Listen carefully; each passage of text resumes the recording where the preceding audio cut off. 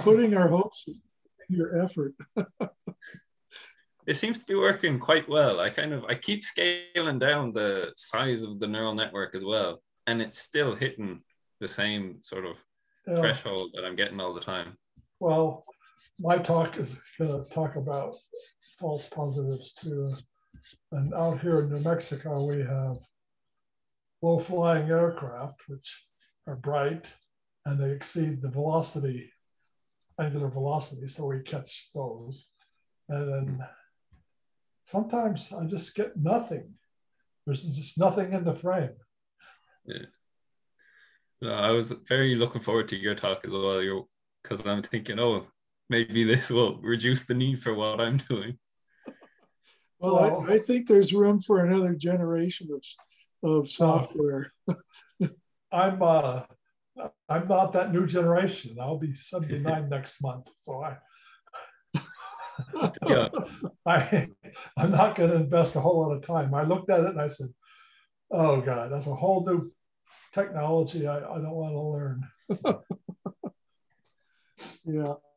Being completely honest, it's not like the most difficult thing in the world. A lot of the stuff has been done kind of already. Yeah. And not doing too much coding. It's just you know how it is with coding. Sometimes a little bit finicky. Unfortunately, what I've seen is mostly in Python, and of all the languages I do, it's oh, just very very distant fourth, mostly because of the libraries. I can do simple Python code, but uh, oh, I've been doing doing programming since 1972. So back before there were microprocessors. Yeah, I, have been lucky that I'm. I kind of Python is my one and only programming language. So uh, that's great. Well, actually, I found it helpful to know more than just one. Oh yeah, for sure. I did a little bit of C, but I wouldn't call myself competent in it. I only just kind of barely grazed the surface. Yeah. Uh, no, I find your talk very interesting. Thank you. I just, I'm, I just can't put the effort into it. Hmm. I'm putting the effort into what I'm doing, which you'll see. The sort of the biggest effort that was made in this though was people actually just um, I said identifying the meteors themselves, and I wouldn't be able to do that without yeah. the rest of you guys, the rest of you volunteers. The reason I like it because I have to, by eye, tell the difference between an airplane, a satellite, and uh, a bug, and a meteor. Mm-hmm. I've got it down pretty good, but I don't think I'm perfect. No one can ever be perfect. We can try, but we're probably not going to get anywhere close. I'm way past it. that banana peel's not too far away.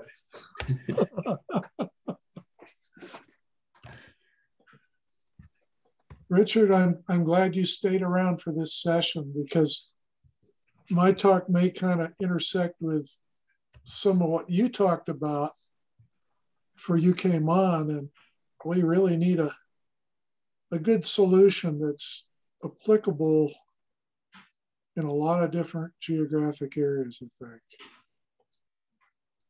Okay, yeah, well, glad to be here. But yeah, this is, I'm, I'm kind of a glue that puts people together. I don't actually do anything. glue is a pretty good thing to be. Yeah, yeah.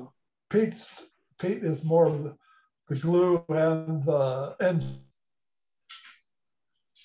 so, so Derek, uh, you wanted to share your slides, so you have to oh, share your own screen, right? Yeah, if, if, if you could, so I'll just try out this PowerPoint. But uh, yeah, right. we're very interested in uh, UKMON here. We think it probably would have, because there's a few different camera networks over here in Australia. We're just getting started. So, um, uh, so yeah, it'd be great. Um, yeah, so you're going to share a screen, Dennis, or uh, no, you have to do it. There's a, a, green button at the bottom of the window. It says share screen. Oh, yes. Yeah. Okay. All right. So I'll share the screen. Yep. Okay. Now we've got it. Yep, okay. So that's work, that's working okay your end? Uh, no. Uh, no. I think. No? Okay. What do we got? Yeah, I think it asks you Well, which we're screen to share, and you have to kind of do another. Oh, okay. All right. So. um, And one trick that I just noticed is that if you're doing a, a PowerPoint or a LibreOffice version, you've got to have that full screen and share Right. that before you start your slideshow. Oh, Otherwise, okay. you'll only get a portion of it. Well, hey, it's just well, we're trying this out now. Eh? So, um, I just ran across it. yeah, I've got full screen, but then, um, okay, let's let's try that again. Uh, Yeah, just. Yep. Okay. there we go. Now, we, now, we've, now we've got it. Looking good. Okay. That'll work. And those, uh, so they're all working okay. And I, if I go to full screen, you guys over, let's see that there. Well, just start your, yeah, there you go. That's working okay. All right. Yes. Okay, Well then. All right. Stop share. All right. Okay. We'll work it out. That's good. Awesome. Anyone else want to try their slides, or everything's okay? Actually, I cheated. I tried mine because I got on first. Oh, that's right. First shot session. Yeah, fair enough. Although I'm a little concerned, I, it looks though that that may have given me two different uh, screens. So we'll, we'll back it out here. Yeah, okay, this will work, I think. Good. It's, so nice meeting you guys sort of face face to face. Well, not quite face to face, but on the screen anyway. So uh, um, yeah, um, I've got a lot of lot of help from you guys on the on the forum. So it's really nice to to meet you today. So yeah, It's always nice to put a face with a name exactly. Yeah. and maybe even a voice now. yeah. Okay, we have a few more minutes until the official start time. Um, and then do a brief round of introductions and just kind of for um, sake of our participants from Australia, I'm just going to do a short recap of session one so they know what's up and if they're interested in, um, um, well, listening to the whole talk, it's going to be uploaded uh, in a matter of minutes. So it's already uh, uploading to YouTube, and I'm gonna po- I'm gonna post uh, the link to our mailing list.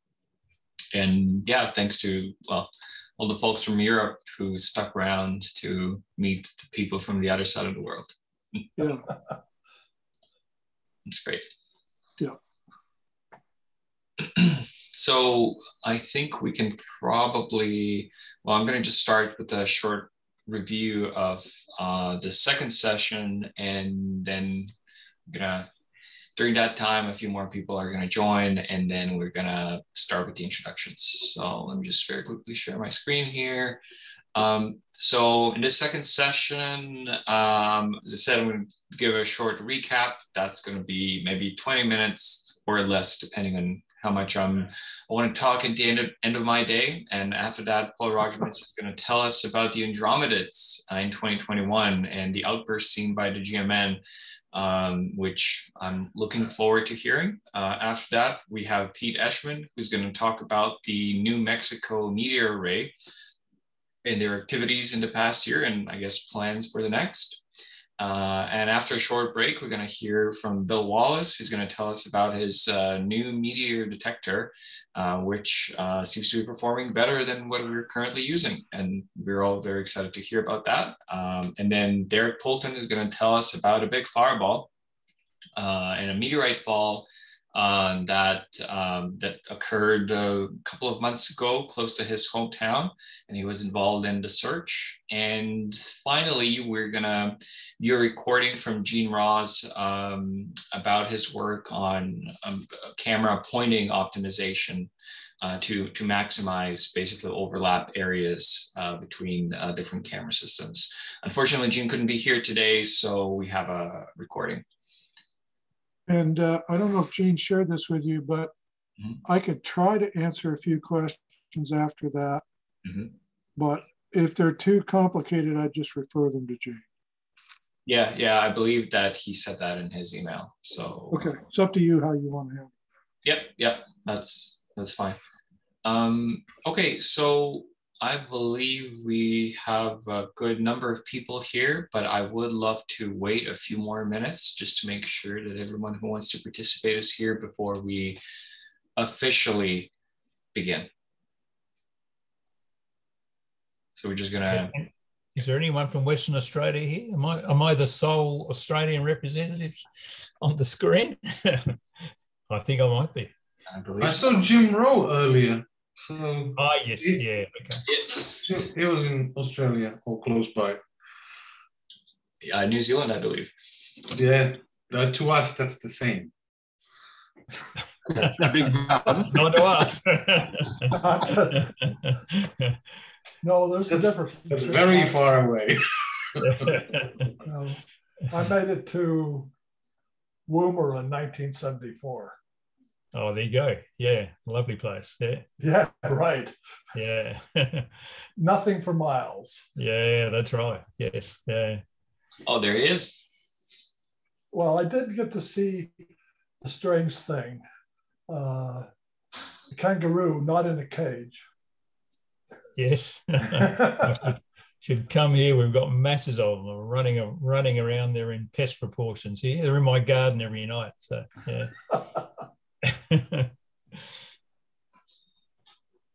are as dang- are they as dangerous as Canadian bears? Or? Yeah. this in Europe.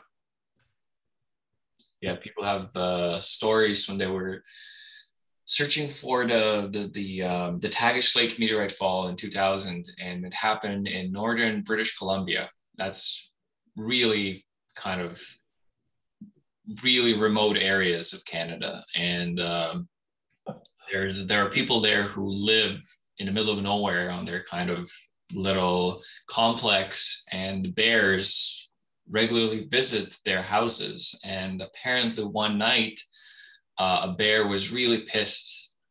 They don't know what was happening, but just started tearing doors off buildings, just wrecking everything. And this guy's mother basically the bear broke into two sets of doors and was about you know three feet away from her. And then it, the bear took two shotgun slugs to die. It's it was really really bad situation. Hopefully kangaroos are more peaceful than that. Yes Yeah, I couldn't. We were over in Canada oh, a number of years ago. We couldn't understand why people walked around with bells in the bush when they were walking. so I understand why now after your description of that there. So yeah, yeah. Apparently, uh, bears you really need to have like a shotgun slug. If you just hit them with like a a normal handgun or something, they just get pissed. They don't go down. Really dangerous animals but they won't attack you if they're not provoked. Um, okay, well, enough about Canadian bears. Uh, I think this is our official start time, and uh, we should probably start with the round of introductions. Uh, even though you might have introduced yourself in the first session, it'd be good if we if we did it again. We have a total of ten minutes to do it, so we just get to know each other. Um, I can begin. Uh, I'm Dennis. I'm a postdoctoral associate at the University of Western Ontario in Canada. Um, the postdoctoral associate is basically when you finish your PhD and they decide if they're going to give you a job or not, or if you're just going to give up your dreams and go work for actual money. Um, okay, so that's right. Um, so who wants to go next? Uh, I ask you to put your hand up on um, uh, in Zoom, there's a little button uh, where you can do that. So uh, yeah, under reactions, and then I believe raise hand. Okay, so let's start with uh, Pete Eschman. Um, yeah, my name is Pete Eschman. I'm here in New Mexico, Albuquerque, New Mexico, and uh, I'm giving a talk a little bit later on about our New Mexico meteor array. Uh, this is, we've been at it for three or four years now feels like longer than that, but any rate, I look forward to uh, hearing what, what you all have to say. Thanks, Pete. Uh, Paul Roggemans. Hello, I am Paul. I'm from Belgium. I'm participating in the CAMS network and in the Global Meteor Network. And I will have a talk later on about the Andromedids. Thank you. Thank you, Paul. Uh, Derek. Uh, yeah, so I'm Victoria in Australia. I'm a retired soil scientist, but I work mainly in the water industry. Um, uh, became an operator. I became very interested in um, in meteors because I don't live very far from the Murchison meteorite. Uh, so there's a lot of interest there in the Murchison meteorite. We've had visits from scientists, etc. Um, so I've had a camera up for about six six months, and um, recently put one up for my brother-in-law as well. Global network here, so we're going to see a, a rapid expansion in cameras uh, and operators. I hope in the near future. So, uh, fantastic program, guys. You've done you've done a great job with it. Awesome, thanks, Derek. Uh, Alex McConaughey. Hi, I'm Alex. I'm uh, from Southern California. I've got two cameras, one pointing east over eventually the California desert and the other pointing south uh, over San Diego area. Um, and um, I've been at it for about, oh, a year now, I guess. So I, I'm part of the Southern California group working with Bob Massey. Awesome. Thank you. Uh, Steve Welch. I'm Steve, and uh, let's see. I I'm uh, I'm with Pete. Pete and I, Pete and I, basically were were the first people in, in New Mexico that uh, sort of started running with this ball. So uh, it's, a, it's a very interesting ball indeed. Thanks, Steve. Uh, Fiachra. Hi, I'm Fiachra. I'm a final year undergraduate student doing physics and astronomy, and I've been um, working on a machine learning project using GMN data, and I'm just very interested to see what the rest of you guys are doing. Awesome, thanks, uh, Bill Wallace. I'm uh, I'm with uh, Steve and Pete. Uh, I Steve gave me my camera. I've had it for a couple of years. I've uh, dropped my Pi 3 for a Pi 4, and then I went from a Pi 4 to a uh, bigger machine so I can have this extra computing power. I'm a retired software engineer. Awesome. Thanks, Bill. Uh, Chuck Pullen.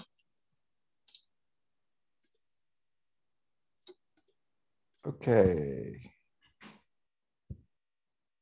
Um, well, I can talk at least. I don't seem to be able to get my video to start. Oh, there we go. Uh, my name's uh, Chuck Pullen. I'm in uh, South Central Washington State. I have one camera going and am trying to get another one going to uh, provide trajectory information on the first one, and eventually may well have a network here out in the middle of nowhere uh, in uh, Central Washington. I'm a retired a health professional and I have a master's in astronomy, but uh, nothing like this. Take care. Awesome. Thanks, Chuck. Uh, Bob Massey. Hi, uh, Bob Massey here. Um, as Alex mentioned, uh, we're, we're both in uh, Southern California, kind of a splinter group from the New Mexico, Mexico group. Uh, Pete and Steve and others there kind of helped us out quite a bit, include and Dennis as well.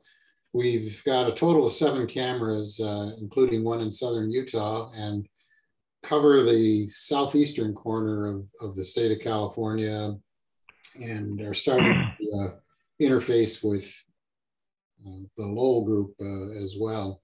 And we're looking forward to uh, adding more cameras as time goes by. And just want to add, I don't know that how many are here from this morning, but uh, just excellent presentations this morning. I really appreciate it. Awesome. Thank you, Bob. Um, Pete Graham. Oh, hi, I'm um, Pete Graham, and I live in the south of the North Island in New Zealand, uh, Martinborough. I've got had one camera up going for about six months, and it's sort of pointing northeast. Um, there are four other people in New Zealand with cameras. Bob is going to talk later. He will, he's down in the south.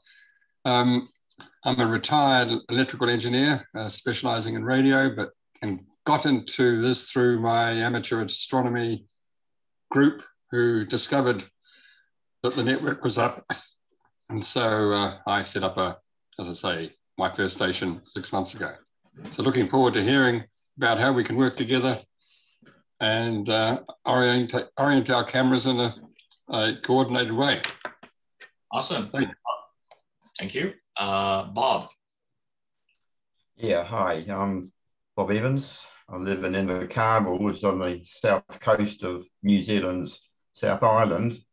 I think that makes me the southernmost station in the network. Uh, I've got one camera. I'm hoping to get another one.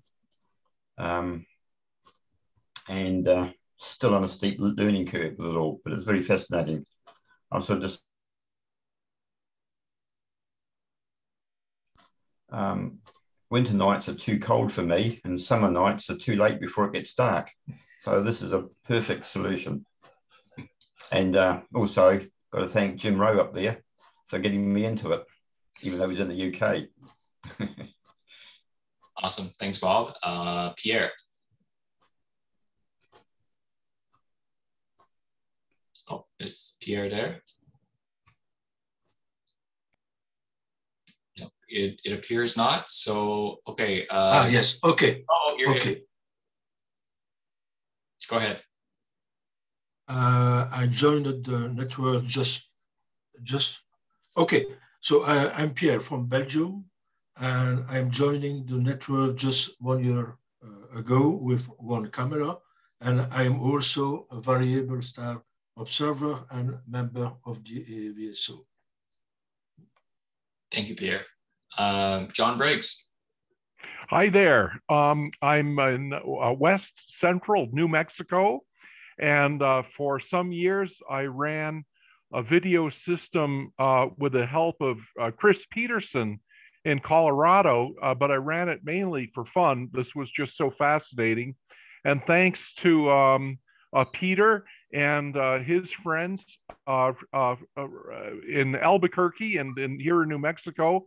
I built uh, uh, one of one of these cameras, but unfortunately, my my rural home has limited internet access. So I've turned the camera over to my friend um, um Eric Toops, who got a camera of his own, and he has them both running in a in a slightly more civilized place with um, a better internet access for the big data download every every morning, as I understand.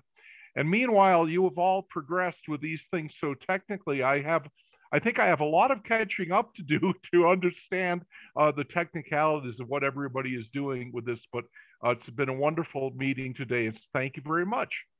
Well, thank you, John. Um, David. Good morning, Dave Rowlinson. I live in Western Australia. Um, I got involved through the network through a post I saw on Twitter, and it just seemed quite interesting. Initially, we put one camera up at Perth Observatory, which was followed by six more on a 60 degree spacing, and then one uh, 25 mil camera paired with a camera of mine down in Baldivis, which is about 100 k's to the south. The cameras in Baldivis are generally used for test purposes, and then they get deployed around Western Australia. We're hoping to build a network of maybe 20 cameras or so over the next two or three years. Awesome. Thank you, David. Uh, and finally, Jim Rowe. Oh, uh, hello, Dennis. Good to uh, see you again. Um, I'm Jim Rowe. I'm currently in Christchurch in New Zealand in a hotel room. I'm originally from New Zealand, but live in the UK. Uh, I've been there for about 30 years or so. Um, Richard Kacerek taught me everything I know about meteors about five years ago. He was very patient with me. And since then, um, we've just gone from strength to strength in UKMON but also in UK4, which is pulling together all the different networks in the UK and trying to find um, meteorites and trying to get them to work together. And I'm really keen to, I've, I've, been talking to a lot of people in New Zealand as well. So it'd be really interesting to see if that sort of model can translate um, to New Zealand. So Bob, I'll be really interested in what you've got to say later on. That's Awesome. Thank you, Jim. Uh, so Jim was the last person with his hand up. Uh, is there anyone else who wants to introduce themselves before we uh, continue with our um, meeting? Going once, going twice. I think we probably got everyone. Okay, well, uh, the second item for today uh, is uh, a short summary of the first session. So I'm just going to very quickly go through the list of uh, talks and describe what uh, every talk was. And I'm just going to very quickly run through my, uh, my presentation. So this is just simply to entice you to actually watch the video of the first session that uh, is going to be uploaded to YouTube uh, very shortly, or probably already is in uh, another tab in the background. So basically the first, um, um, this first speaker was me, and I just basically gave a very short introduction to meteor science, uh, why meteors are so important uh, and what kind of different types of material arrive on Earth. And these are, you know, like asteroids deliver meteorites, they deliver rocks, and comets produce meteor showers. And these are just completely two fundamentally different things. And when someone says meteor, well, they basically describe both phenomena, but they're just so different. And um, we get hit by asteroids every once in a while. So that's why we want to know about them. And that's why we're kind of doing this this whole meteor thing because we want to learn more about objects that are a potential threat to human life on earth. Um, and also comets contain basic ingredients uh, of life. So that's also pretty cool to study. And if we want to be a spacefaring civilization we want to make sure that the little dust particles won't hit us and cause any trouble like that it did in the past but this time we've got to be prepared. Um, and then I talked briefly about uh, the science of meteorites called meteoritics uh, and said that if you ever go to Vienna, you should definitely visit their Natural History Museum. They have a wonderful meteorite exhibit, actually the biggest in the whole world. So it's a place that you should, you know, put on your bucket list list.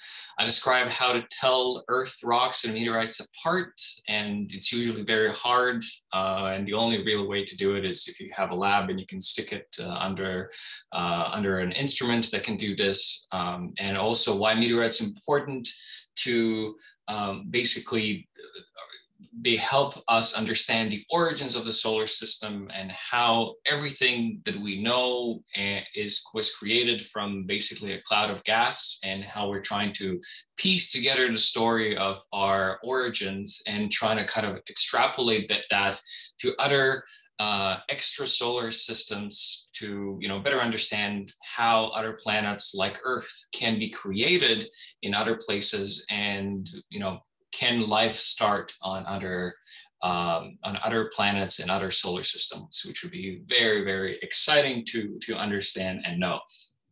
And I also talked about how meteorites can be used to reconstruct the, the processes that form the solar system and basically how a different type of meteorite comes from a different, uh, different parts of uh, an asteroid and can basically tell us everything about the, the, the process that created the planets. Um, and then I talk about the structure of the asteroid belt, et cetera, et cetera. I'm just going to skip this. If you're interested, please watch the, the first part of the show. And uh, after you watch this, you're going to realize why people are spending hundreds of millions of dollars trying to recover samples from asteroids, and that there actually is a, a much cheaper way let's just wait for the rock to arrive to us instead of going there. Uh, and this is exactly what we're trying to do with the Global Meteor Network um, and what some other groups are doing around the world. Um, and um, there, there is room for you to participate and that's why we're running this project. So the fundamental uh, reason why we're trying to do this is because out of tens of thousands of meteorites that exist in collections, only about 40 to 50 were observed falling through the atmosphere. And if you observe a fall, you know the meteor's trajectory, and then you can extrapolate the orbit, and you know exactly where it came from in the solar system. So, so no need to send the expensive spacecraft. You just know where it came from, and you have this big, big, big piece of rock here. And we just want to have hundreds of uh, meteorite falls with observed orbits. So, you know, we have a much better picture uh, of the asteroid belt and the creation of the solar system. Uh, in the second part of the talk, I talked about um, the papers that we published, that we developed a very important new method of calibrating our data, and that's about two times better than anything else that was previously published. And this is all open source, this is all free. We provided this for, for everyone. And this basically enables us to, to pinpoint trajectories of big fireballs very accurately and then able to predict uh, fall locations of, of meteorites to a very high degree of accuracy. And this software um, came into existence just a month or two before the, the Winchcombe meteorite fall in the UK, where um, we were able to assimilate data from all the various meteor networks that exist in the UK into um, to do the measurements on this such large uh, heterogeneous data and produce a very accurate uh, meteor trajectory of a meteorite that is incredibly rare, incredibly important, uh, was one of the most pristine meteorites ever recovered. Um, and uh, here I demonstrated that with the new improved uh, method that we developed and the global meteor network cameras that are very sensitive, what we can do is actually measure the final mass of the rock when it's falling through the atmosphere and very accurately, accurately predict the location. So this is actual Winchcombe data. And I said we have a very cool method where you can basically go in and measure the deceleration of the, the, the fireball in the atmosphere at the end.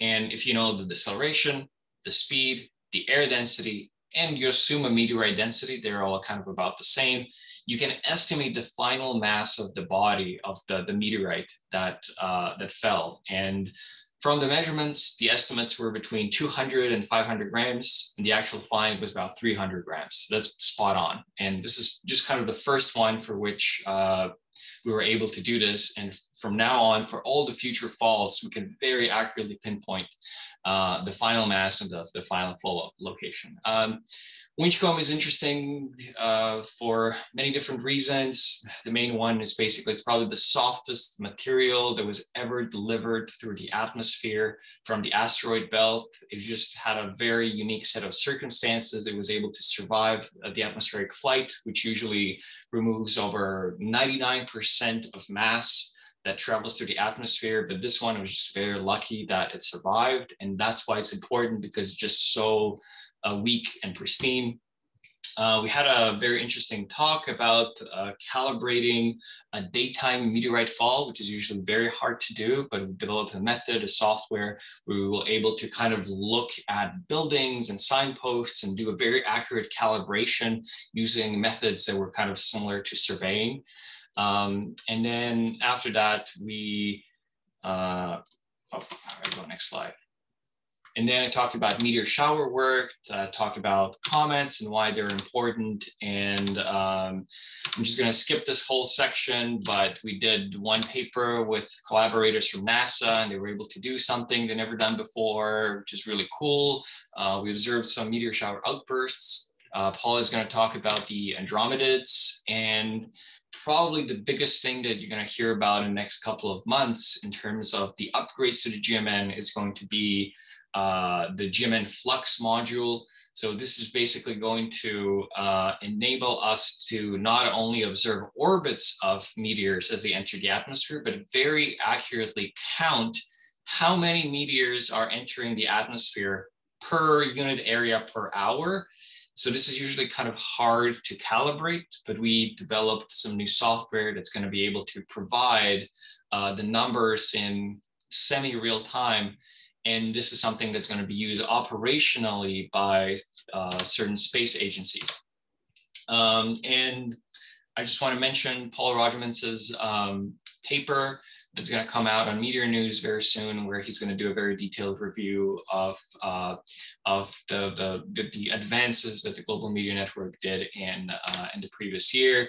And that was basically the end of my talk. I thanked all the 350 plus people who participate in the network. And my talk was followed by um, was followed by uh, student presentations and students were, let me just very quickly check the time. Great, we have 10 more minutes.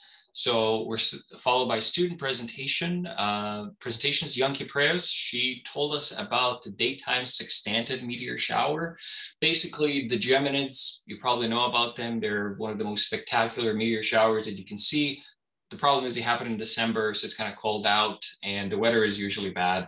Uh, but they're really weird because they come from an asteroid, they're not a comet. And when we look at the asteroid, the, the asteroid is not active enough to explain the number of meteors that we're seeing. So there's a big of a big, big mystery there. Uh, but she's using global meteor network data to uh, observe a, um, a sister shower, the daytime sextantids, uh, for which we have a few rare observations, and they also have a connection to the Geminids. Um, Marco Chigon talked about the Mesto meteorite fault. That's a daytime fireball, developed some interesting new methods of calibration. Um, Fiachra uh, he talked about deep learning to classify uh, meteor images from false positives. So as you might have noticed, your cameras sometimes produce false positives, just like detections in clouds or birds and bats or whatever. And he's trying to use very advanced machine learning methods to uh, filter out the, you know, um, the good stuff from the bad stuff. Uh, that was followed by Ricky Basson's presentation, where he's developing a data pipeline for the global meteor network. So, for example, this is going to be important for um, if we want to uh, have scientists use global meteor network data and they already do, we need to provide a very nice way of, of using the data. So currently, uh, you might already know that, that we have our data in a big text file on our website, and that's very clunky. Um, but we, what he's trying to provide is a very kind of nice interface of interacting with the data and filtering the data set. Uh, Pedro presented a very interesting talk about uh, the MOMET device. So basically they put, I think five or six meteor cameras in a suitcase. And if there's a rare meteor shower that's gonna occur and you don't want to miss it, what you do is you take that suitcase, bring it to the top of a top of a mountain or a hill, and you're gonna, you know, there you won't be clouded out, and you run it, you collect your observations, and you take the suitcase down. And they did exactly that for one meteor shower, and they were observing in uh, Chile, uh, in the middle of nowhere. So it was really exciting. Uh, Tammo Jan, he talked about an observation of a Starlink re-entry in Spain. Um, just one Starlink satellite, not related to the recent uh, ones that were taken down by the, uh, the solar storm, uh, uh, basically re-entered the atmosphere and burned up, and he was able to reconstruct the trajectory. Uh, and then Paul talked about how um, RMS cameras uh, basically came to the rescue of the project that he was working in or still, still participating in, uh, CAMS uh, Benelux. Um, and basically some of the things that he pointed out were the reasons why we even started the project because we noticed that some old technology was no longer compatible and we couldn't buy some parts and we just have to come up with something new. Uh, Richard talked about how the UK Meteor Network expanded in the last year by over 100 new cameras and how the Winchcombe meteorite fall was basically the catalyst uh, for, for this big change here. I think by the, the end of this year, they plan to have over 200 new cameras. There's going to be one, you know, per every square kilometer in the UK, as far as I understand. And Mark McIntyre talked about how he created this amazing website uh, website interface where basically every meteor that's recorded by the UK Meteor Network uh, is shown on their website and the general public can search for the images. And it's really, really neat interface and that got many more people interested uh, in this project than there would be otherwise, uh, that would otherwise be reached. And um, finally, there was an unstructured workshop slash Q&A when we talked about everything. I was uh, a combination of just, you know, people want to know more about certain things to uh, suggestions, what to improve, to airing of grievances, basically uh, a whole uh, gamut of, uh, different discussions. And if you're interested, you can watch it in uh, the YouTube video. So that was a very, very quick um, very quick overview of everything that happened in uh, the first session. And before we go on to the, the next talk uh, by Paul Roggemans, I would be very happy to take any questions or quick suggestions by any uh, any any current uh, participants. If this was really fast and confusing, I'm very sorry. But the first, there's a recording of the first uh, session that's five hours long. So when you're really bored and you have nothing else to do, it's going to be something for you to watch. Okay. Um, so we have about five minutes until Paul's uh, talk. And uh, I want to um, maybe uh, if we, well, we have no reason to really very accurately keep to the schedule. So I think we can start with Paul's talk unless there are other questions or comments.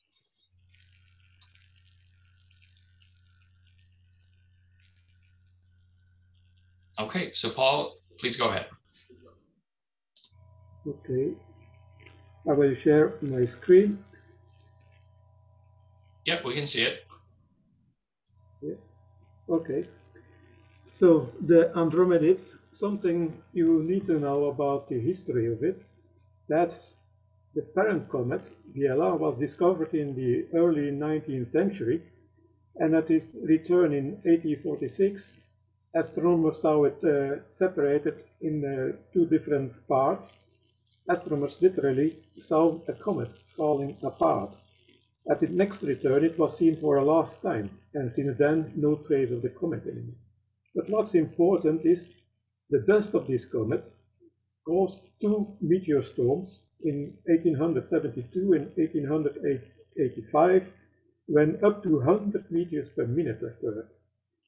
Later, it uh, occurred that this uh, shower was even active in other years before, and the last outburst was seen in 1892. Curiously, in the 20th century, it looked as if the Andromedids had completely vanished, no trace of them, apart from some uh, small activity every year. Strange enough, the last outburst before occurred on 5 December 2011 and that was recorded by the CAMS network and CMOR, the radar uh, in Canada, and got listed as a new meteor shower, the December Psi Cassiopeia. Now, it's a very difficult stream to make predictions apparently, because in 2018, a possible dust trail was predicted that did not materialize. However, unexpectedly, last year, we got Andromedids and many. Global Meteor Network identified as many as 1,034 orbits as Andromedids. Uh, but what can we learn from the data obtained by uh, Global Meteor Network? Well, the shower identification done by Global Meteor Network has been done based on a known list of meteor showers according, according to some rules that is uh, taken into account. But there is another method, a method based on similarity of orbits. So what I did, I took all the meteors in that time spell. There are uh, 76,000 uh, orbits available. And I checked with a mean orbit that I obtained for these 1034 orbits that were identified as Andromedids. And I took the similarity of each orbit into account compared to this mean orbit. Now the similarity criteria, that's just a number. The smaller the number, the better the similarity. So zero is identical orbit. If it goes above uh, 109, that means there is practically similarity. Now, what came out? Can we consider something like activity profile?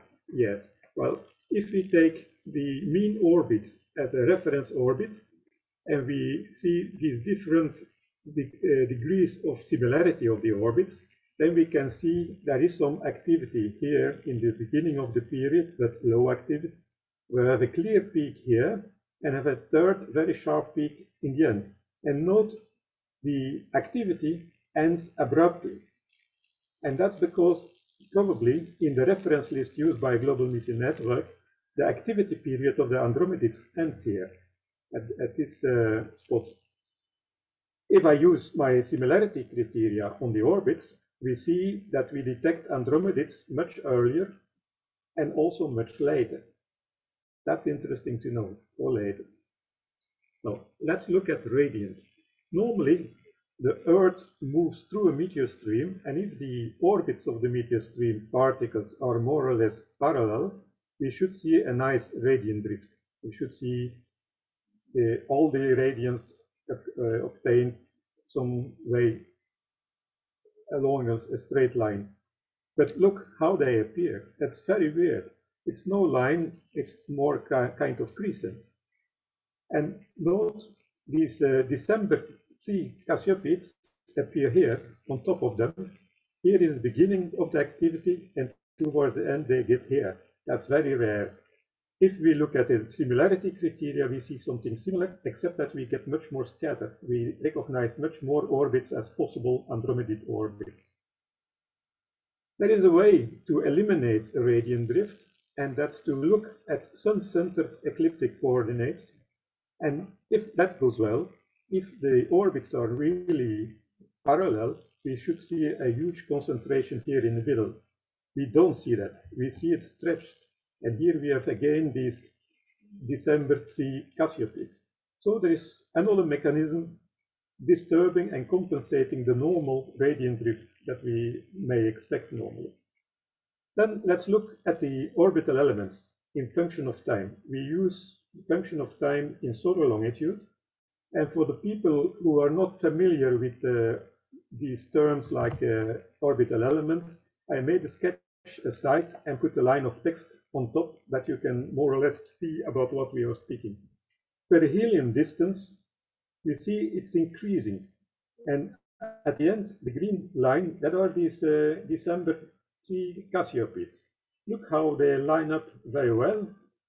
And the, the distance between the beginning where the Earth enters, starts to encounter Andromedes, and at the end, that's a distance, a difference in perihelion distance of about 25 million kilometers. That's huge. If we look at the semi-major axis, that remains pretty stable, apart from the scatter, but that's normally it's a very sensitive element, so don't look too much at that. But if we look at the eccentricity, we see it tends to decrease slightly, which is more or less normal. If this increase and that's stable, this should increase also. If you look at the histogram, it's not a nice distribution. It looks almost like we put two distributions on top of each other. It's a little bit skewed. Then if we look at the inclination of the orbit, we see again the inclination increases a lot during the transit of the Earth through the stream. Then if we look at the longitude of perihelion, we see again a strange change in the orbital element. Now, we can also have a look at the velocity. The velocity doesn't stay stable through the transit of the Earth. In the beginning, in the first instant, we encounter the most fast Andromedes, and towards the end, we encounter the slow Andromedes. And again, look at this green, this December Psi Cassiopeids. Also, this distribution, the histogram, is skewed. That is not what I used to see with other meteor streams. We can also look at the velocity a little bit in function of the radiant, the radiant area. Well, here we see the fastest Andromedes at the beginning of the transit of the Earth through the meteor stream. Uh, we see the fastest Andromedes. Towards the end, we see the slower ones. And here are again these uh, December Cassiopeids. If we look at the result obtained with the similarity criteria, the orbit similarity, we see more or less the same shape and same distribution, except the similarity criteria identify many more orbits as possible Andromedes. Now, if we look at the radiant in the equatorial coordinates, normally we should see a clear radiant drift, so the right ascensions should increase quite well. And it does to some extent, but not as much as we would expect. it does climb a lot in declination, but right ascension almost remains stable over the period. Very strange, the December Cassiopeids, they seem even to go the, the other way. That's very, very strange. Now, if we look at the, the sun-centered ecliptic coordinates, normally, if the orbits should be parallel, they should be a nice horizontal line. But you see, there's another mechanism going on. It's also showing a serious degree of uh, drifting. Now, I told you in the beginning, we took one mean orbit for the entire activity period. But what happens if we take a mean orbit every five degrees in solar longitude? Uh, can that help to detect, for instance, where we have some maxima or submaxima? We can clearly see there is something going on here in the early two weeks of the activity. And then we have clearly here a peak. And finally, we have a very sharp peak at the end of the activity period.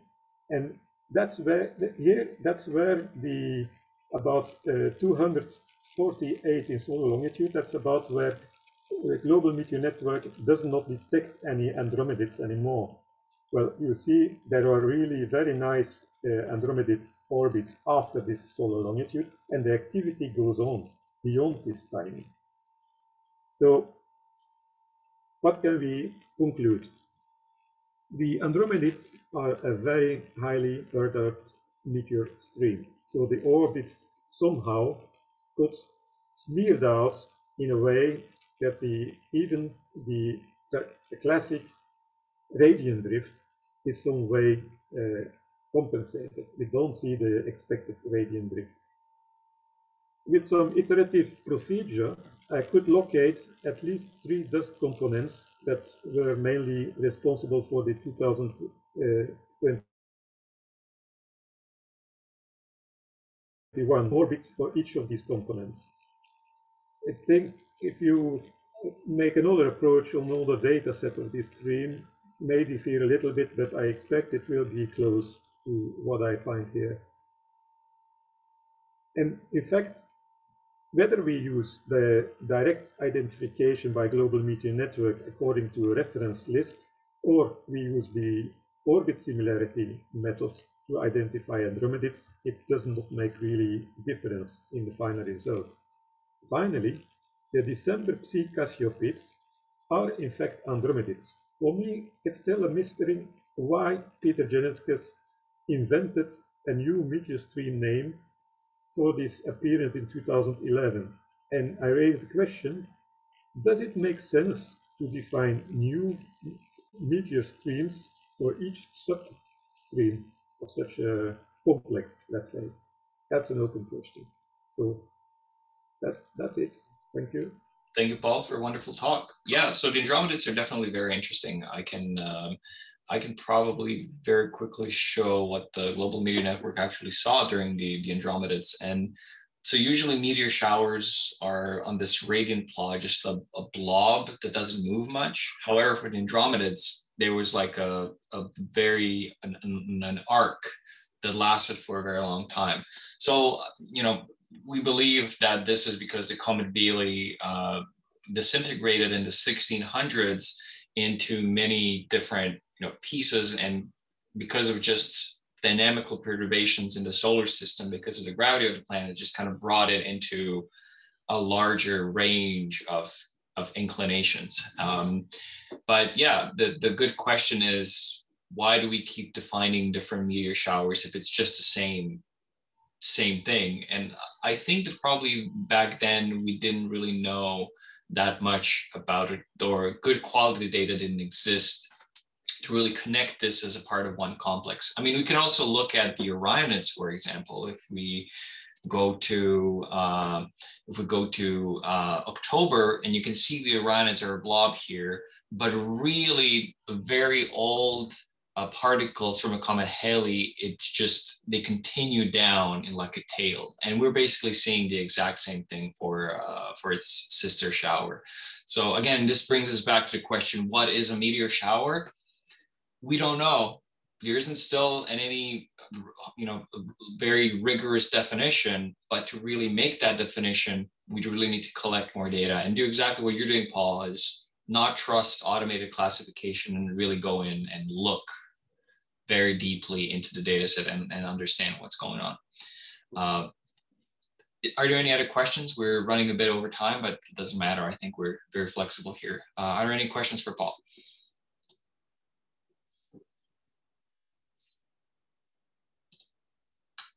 Okay, uh, if not, let's hear uh, Pete Eschman's talk. Pete, go ahead. Oh, uh, is there a hand up? Nope, no. Okay, Pete, go ahead. Okay.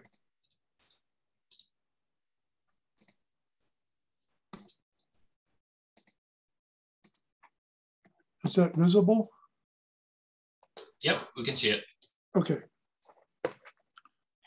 Hi, I'm Peter Eschman, and I'd like to share some information about the New Mexico Meteor Array. I'm going to cover some very basic information. I'm also going to cover some extensions that we've made that might possibly be added to the GMN RMS uh, error checking. We have 23 GMN stations in our array, which we abbreviate as NMMA. We're located in the southwestern US. Camera coverage is centered near the intersection of interstate highways I-25 and I-40 in the Albuquerque metro area. Our Meteor camera array measures about 420 kilometers north-south by 225 kilometers east-west. Red pins show our array stations. Yellow pins show Lowell Observatory Project, Window Rock, and Sunzona stations. At each of their stations, they host six co-located cameras. So here are the red pins in this approximate area. This would be the Window Rock Lowell station and the Sunzona Lowell stations.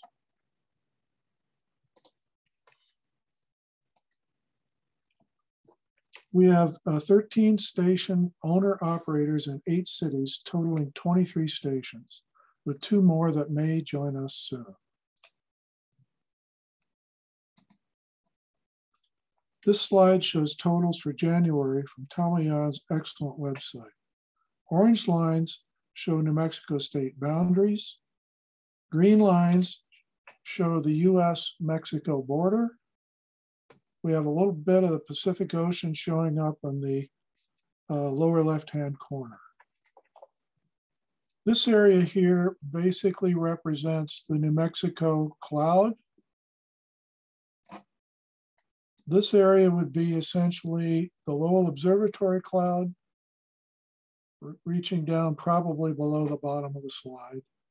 And then this area would reflect the Southern California cloud, uh, and they've also got one station in Utah.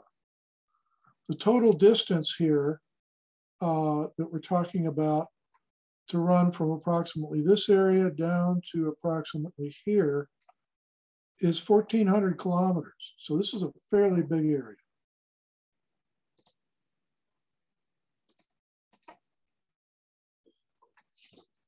It all started with a message in February of 2018 on a local astronomy club list, which linked to a cloudy night forum posting from Denis Vida and Mike Mazur. They had a link to an eBay camera offer, a Pi 3B with an IMX 225 camera. Matter of fact, that camera is still running. It's US 000E. I recall that the inside of the camera case is labeled serial number one, and it was signed by Denis and Mike. So um, maybe that's a collector's item. In the fall of 2018, we ordered 14 stations from Denis and Mike. Then in spring of 2019, we ordered parts to build 14 more stations and sent three to California. Early in 2021, we ordered parts to build more stations. Before I continue, I'd like to recommend some resources for those who are just starting out primary resources are the GMN Wiki, the UK Meteor Network RMS Wiki, and the Global Meteor Network Groups.io discussion group. Don't forget, you can run keyword searches on all of these resources.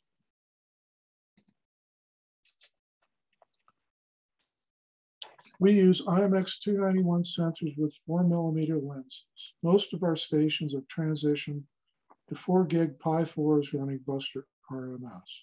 One of our stations upgraded to the Pi 400, which is one of the few available options now that Pi 4 are in scarce supply. Most stations have been upgraded to 128 gig micro SD cards, offering room for about five nights of captured data. Most stations have attached 256 gigabyte USB thumb drives for automated data backup. The Pi 4 is strongly preferred over the Pi 3. We've noticed that the Pi 3 suffer from loss of data, excessive processing times, and the Jessie RMS software mix seems much more prone to errors and crashes. Here we show the amount of data capture time that was lost by comparing the actual number of captured FITS files versus a predicted total. We show the Pi 3 results in blue with the Pi 4 results in red. Note, we're using a logarithmic scale here. This is one minute, 10 minutes, and 100 minutes.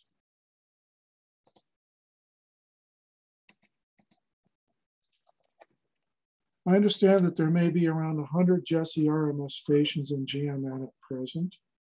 Steve Kaufman, who's a major contributor to our group, is developing a record watchdog that may help to reduce Pi 3 data loss problems. I serve as an unofficial area coordinator for our meteor array, and I'd like to offer some recommendations based on my experience so far in this role. The main job of an area coordinator is to keep things on track.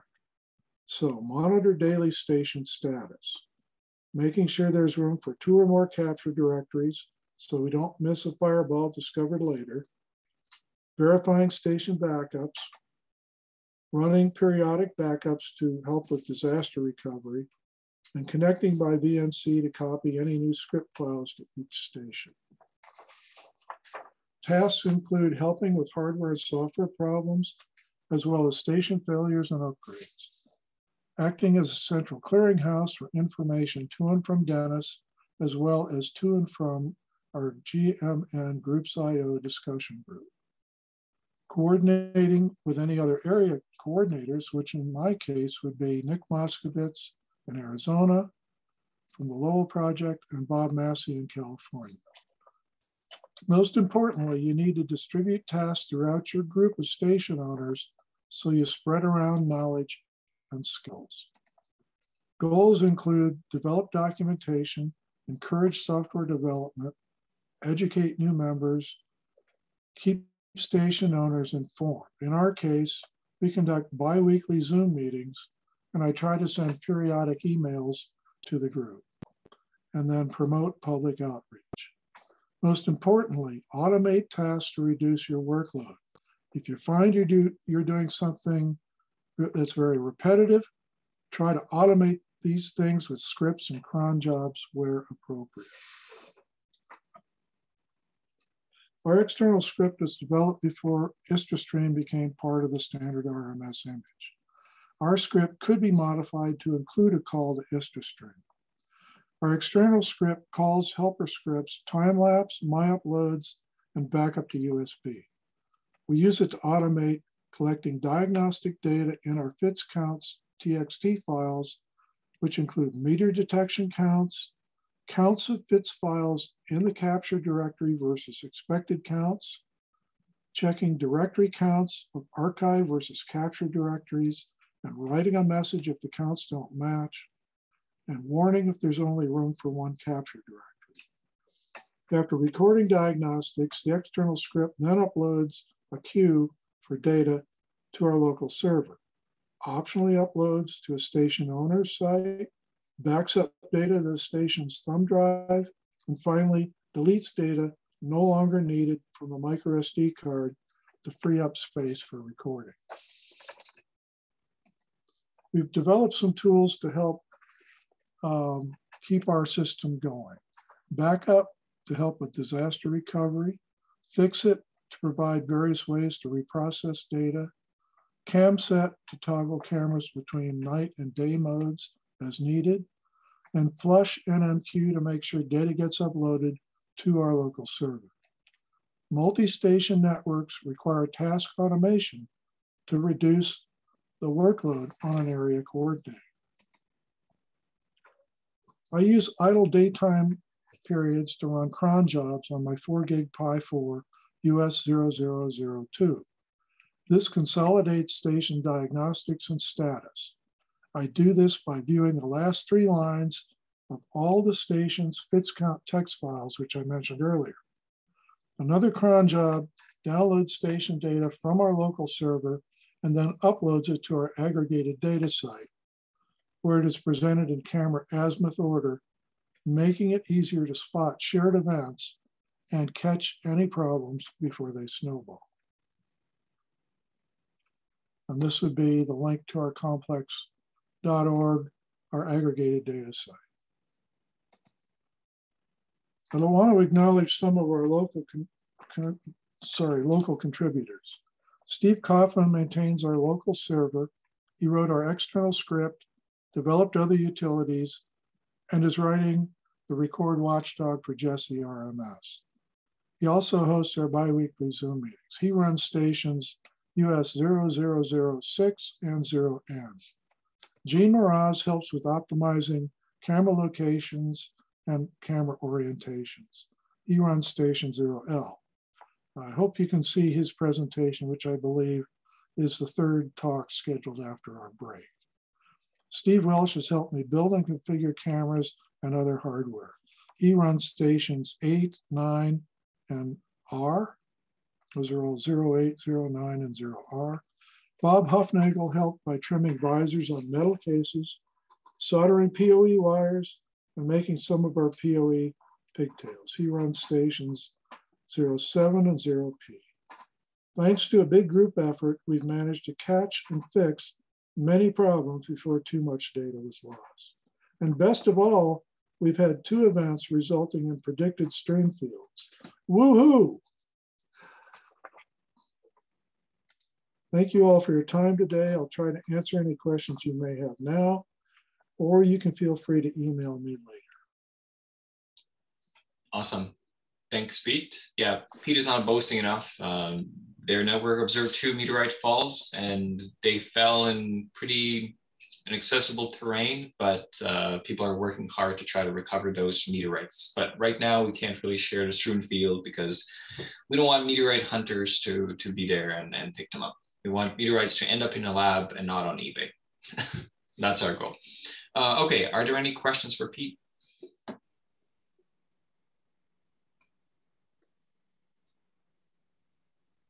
So, um, yep, uh, any questions?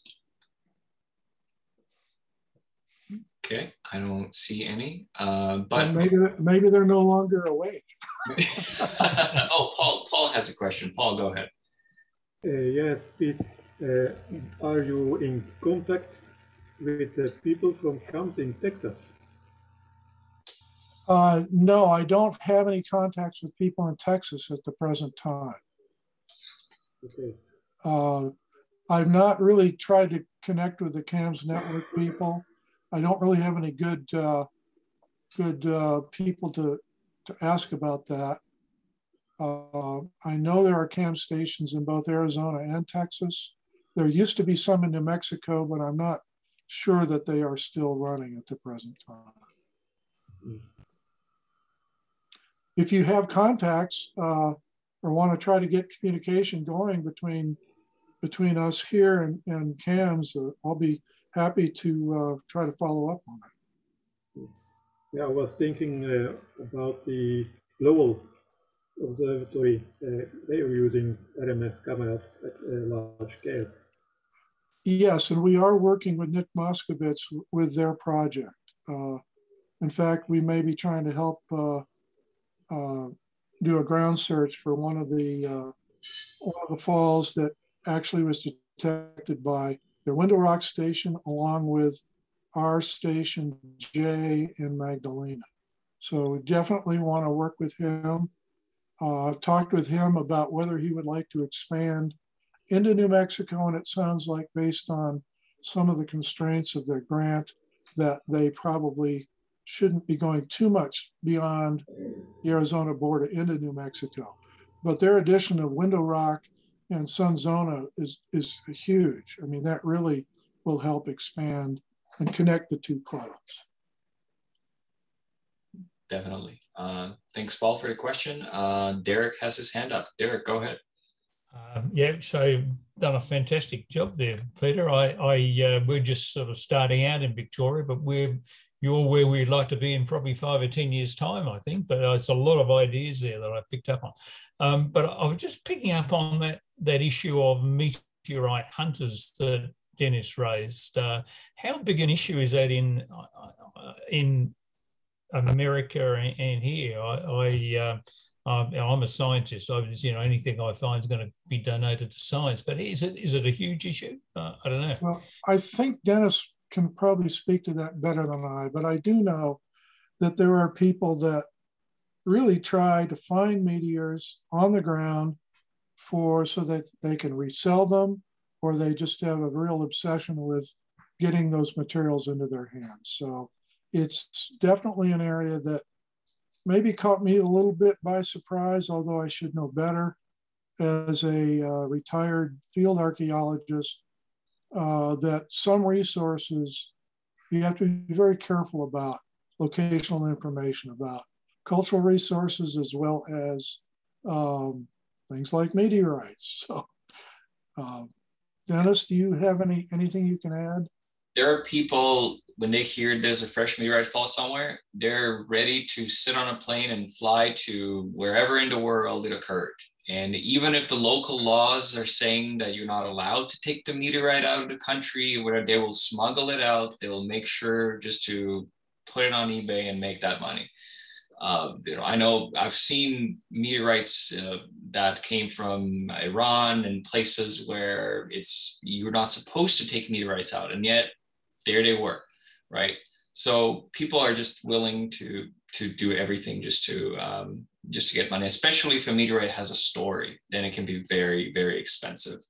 Um, but yeah, it's it's a problem. So that's why we don't we're not really that keen uh, on sharing strewn fields with people who we can't trust and one of the things that we're doing in terms of uh, network expansion is that we're working with people who already have similar projects uh, running locally. For example, in Australia, there's a Desert Fireball Network, and they're doing an amazing job of recovering meteorites as best as they can, as in Western Australia, for example.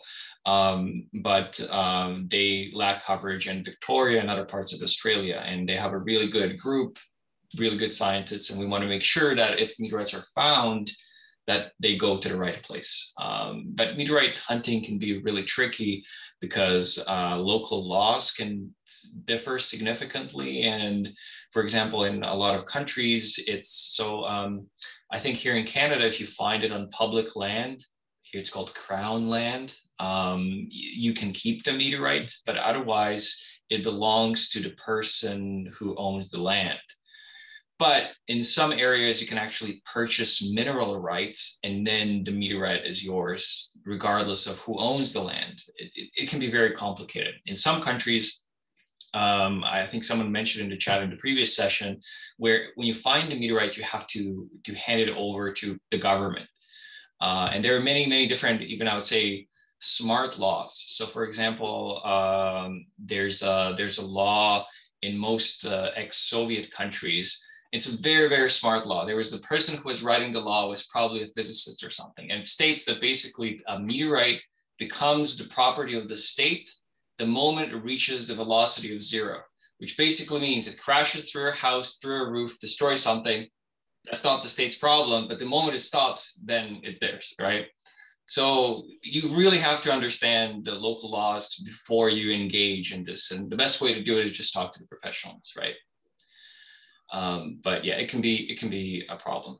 Um, okay. Uh, any other questions related to Pete's talk or? Well, just a quick follow up. I know in the state of New Mexico, we have uh, Native American lands for a number of pueblos. We have the Navajo Nation lands. Uh, we have Bureau of Land Management. We have Forest Service lands, which are federal properties. We have all kinds of different land status. And certainly you really don't want to encourage people to go stomping around on lands that are part of, say, the Navajo Nation, um, or as I would imagine, First Nation lands in Canada would be another sensitive issue. So you have to respect land ownership issues. And somebody flying into town and renting a Jeep, there's just no way to know what they're going to do. And you may wind up with a bad press because of it. So it's it's really a it's it's a bit of a difficult situation. Proceed with caution. There's a definite space rock craziness, and sometimes we would uh, work with people who recovered the meteorite who were trying to, you know, convince them to hand it over for analysis because they're they're holding like an invaluable thing that can help us find new things about uh, the solar system, and um, you know we have to be first to talk to those people and it shouldn't be someone who's just offering their money or trying to scam them out of a meteorite or something right? And it happens it happens a lot if people don't know what they have.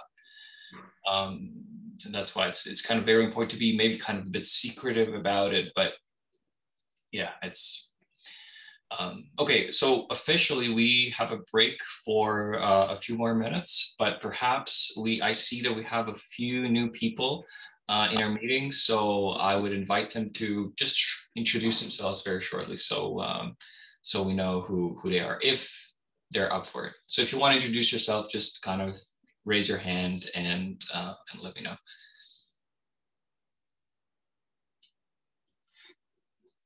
We did a round of introductions at the beginning of the meeting, but I guess uh, they're either shy or they're away for the break, but that's fine.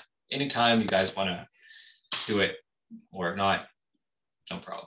Uh, but yeah, um, so we're going to continue with Bill Wallace in about three minutes, two minutes. I'm going to step away for those two minutes.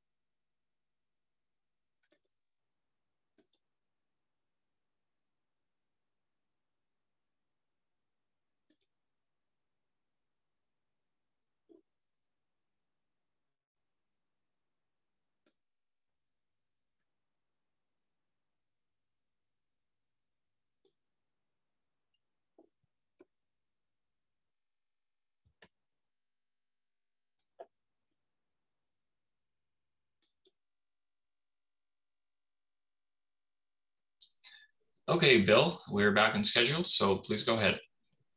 We can see your slides. I seem to make it go backwards. You just see the first slide and some a window with some options, but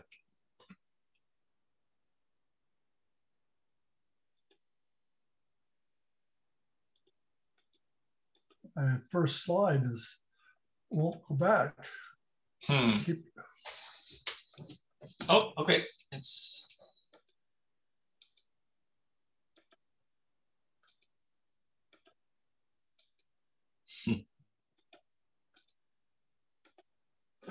Okay, I'm Bill Wallace. Uh, I've worked in concert with Steve, uh, Pete and Steve.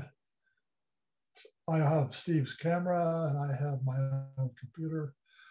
And as a lark, I decided to find out if I can duplicate what already exists in uh, RMS.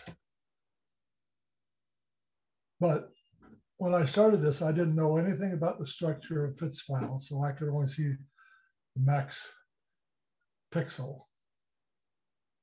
And so I chose to use consecutive FITS files because not much is going to change in 10 plus seconds except things that move.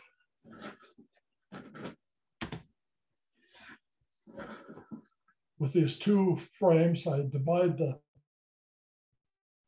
the 1280 by 720 pixel into 40 by 40 pixel windows. I slide the windows eight uh, pixel increments in the vertical and horizontal directions. I count the pixel above a minimum brightness in each window. Count, if the count is high enough, I perform a correlation, computer correlation factor in X and Y domain. And then if that exceeds 0.85, I perform a linear regression. I'm just looking for straight lines. And I report out the slope and intercept. And then I cluster these, you know, there's maybe four or 500 of these things. And if they have match up, I, I cluster them into the minimum number of reports. I use CFITSIO from NASA. The languages I use are C, C++ for analysis, and TCL/TK for displays. I my Python skills are way inferior to the, the skills I have in these languages. Uh, I moved from a Pi 3 to a Pi 4 and then went into a, a Intel uh, uh, sort of a mini computer. It's about 11 times faster than the Pi 4. So with that excess computing power, I decided I could try to do this particular project.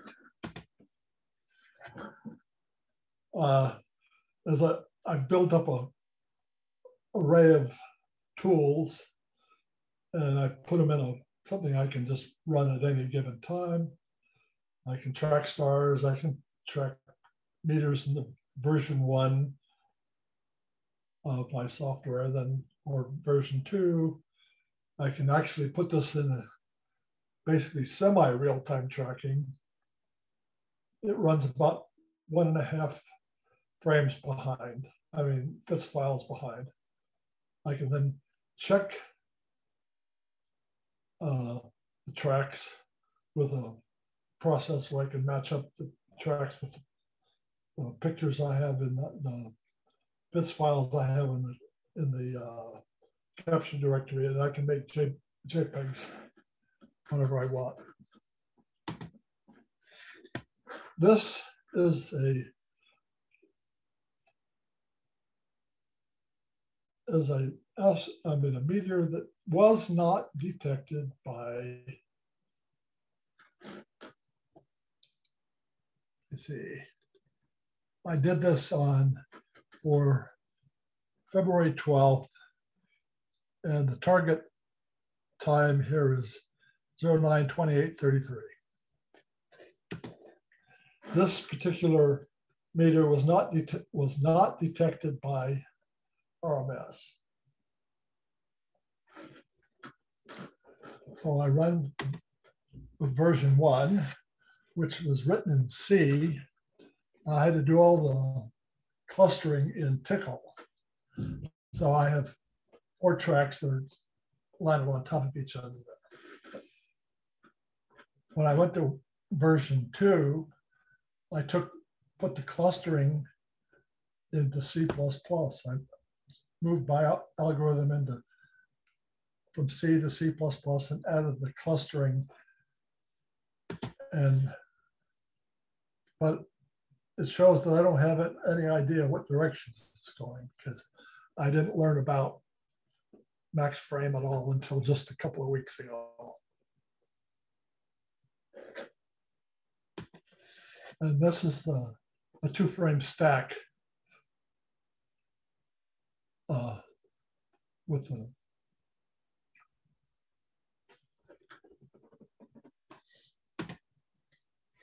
I have collected 90, over 90 evenings of data. This one happened to be, I saved the data from this time. It's August 14th. And I think that was end of the Perseids, if someone knows for sure. I counted uh, 414, 292 by RMS. I detect, detected 411 of them, and there was 289 that both of them detected. And there was plenty of satellites, plenty of planes. I, that's a little bit high on the satellites, but uh, about right on the planes. False positives were counted. I UFO data is stuff that I just cannot tell what's what. I don't try to. I try not to make up data, and then I counted the uh, the data. Uh, was interfered by clouds, and I got 93 meters in that. 27 satellites and 11 planes. And then I, lately I added this meteors by hour UTC. We usually start anywhere from is in the uh, winter time, it's about zero, zero, zero 40 something, and we go back almost two o'clock in the summertime.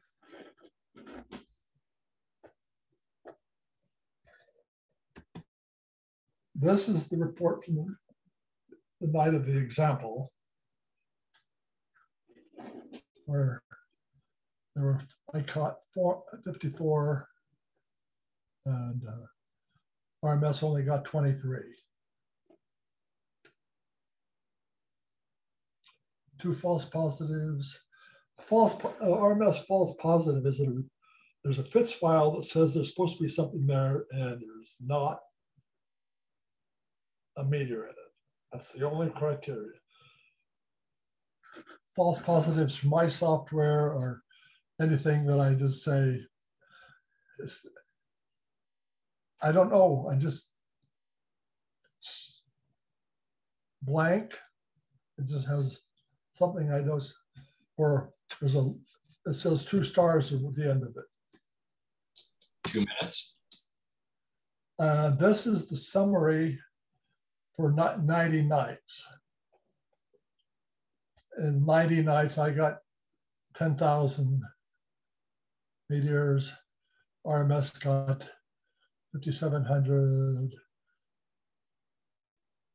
And so I'm detecting, uh, RMS detects 54% with respect to the total. I get 90, almost 99%, and I get 98% of what RMS does. Uh, this particular area is suggestive of a conclusion that I arrived at. It's an unasked question.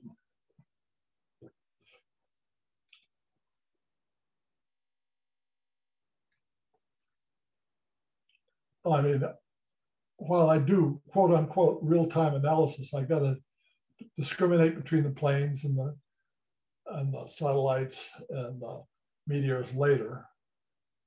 And there are a lot more meteors up there to be detected.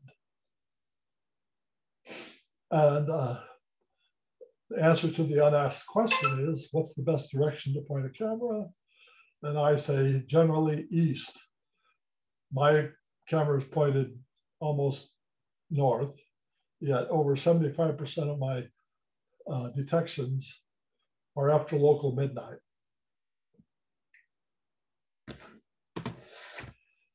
questions. Awesome. Thanks, Bill. Um, any questions for Bill? Um, go ahead.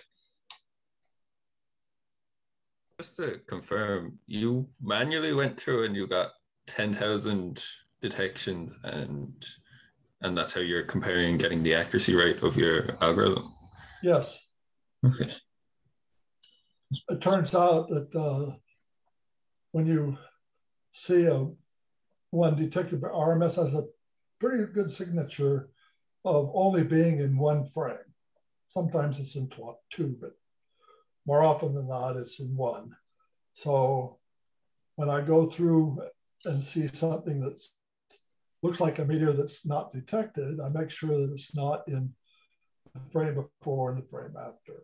Mm-hmm. If I see it in the frame before or two or the frame after, I label it a satellite, unless it's a plane. But the planes are pretty obvious.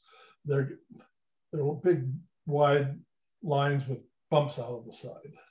Mm-hmm it'd be really interesting to see the the meteors that uh, get missed because RMS applies a set of filters to detections and yes, yeah, first of them the angular velocity which you already included um, and second of all is a minimum of four frames because if they're detected on less we cannot measure the velocity of the meteor just purely yeah. from like you know when you do it uh, theoretically um, so yeah, it would be a really good comparison because if we are to compute very accurate uh, fluxes of meteor showers, we want to make sure that we know what our efficiency is.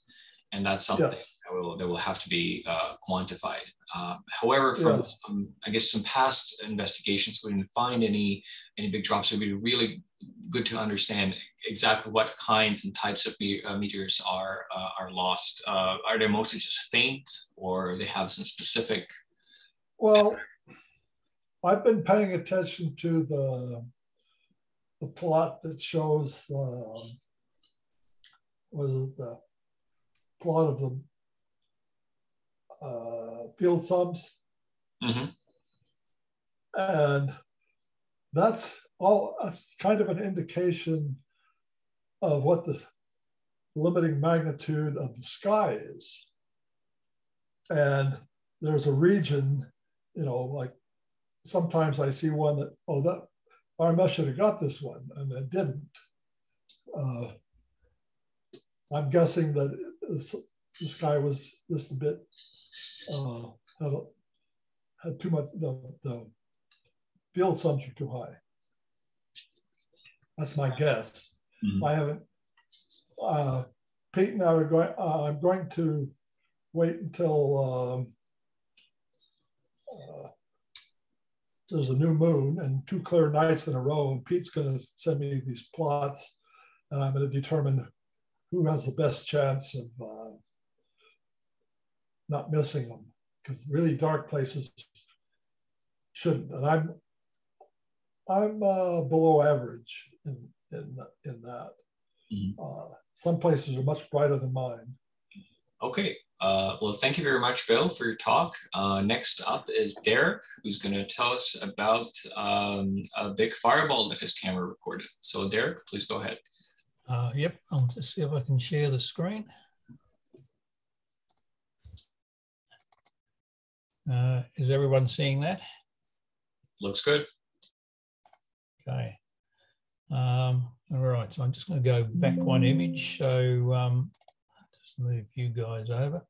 Um, yeah, so um, this is about a fireball we recorded in November last year. I'd just like to acknowledge Denis and Martin Towner, who did the dark flight projection, and Andy Tomkins from Monash University that um, led the ground search. Um, so this is what created the initial excitement.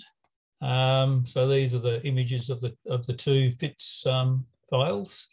Um, and you can see that it went over, the fireball went over two, just the initial one, and then there was a, an outburst and a brighter section here. You can see a, uh, a reflection there in the screen. So that's what created the excitement. Um, and uh, we, we had um, uh, Denis contact me, he'd obviously seen it.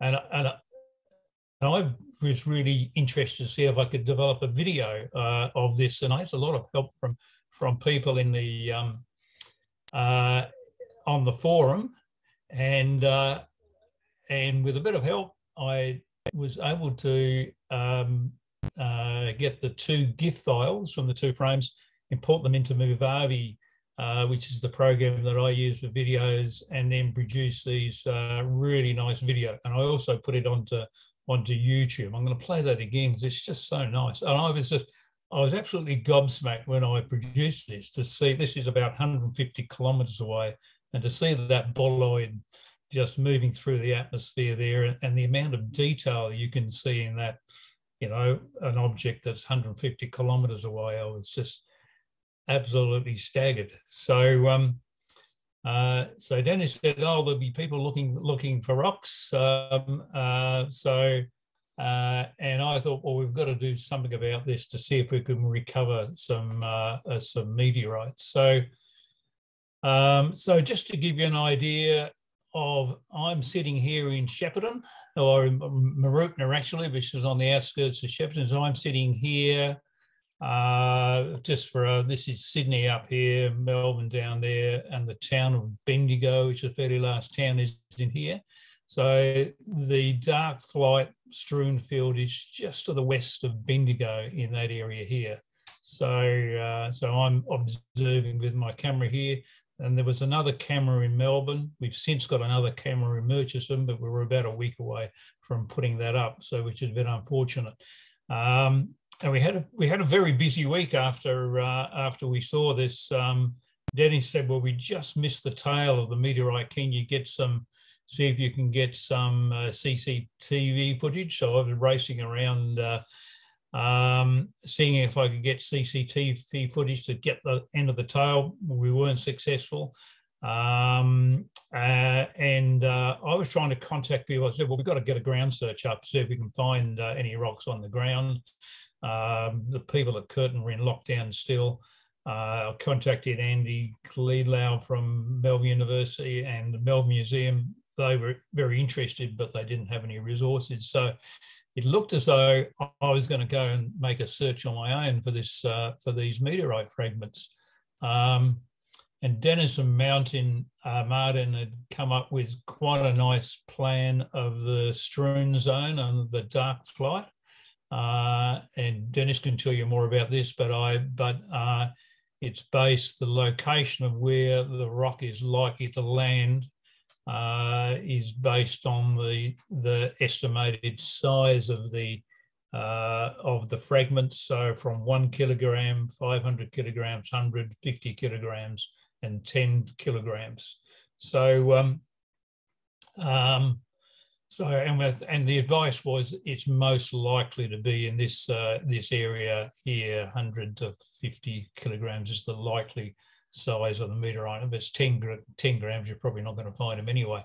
Um, it's actually an area I know very well. I was married in this on the golf course just here. I've been to the I've been to the Great Stupa quite well, and there's a Allies Road along here, which I go along quite frequently. So I know I knew the area very well.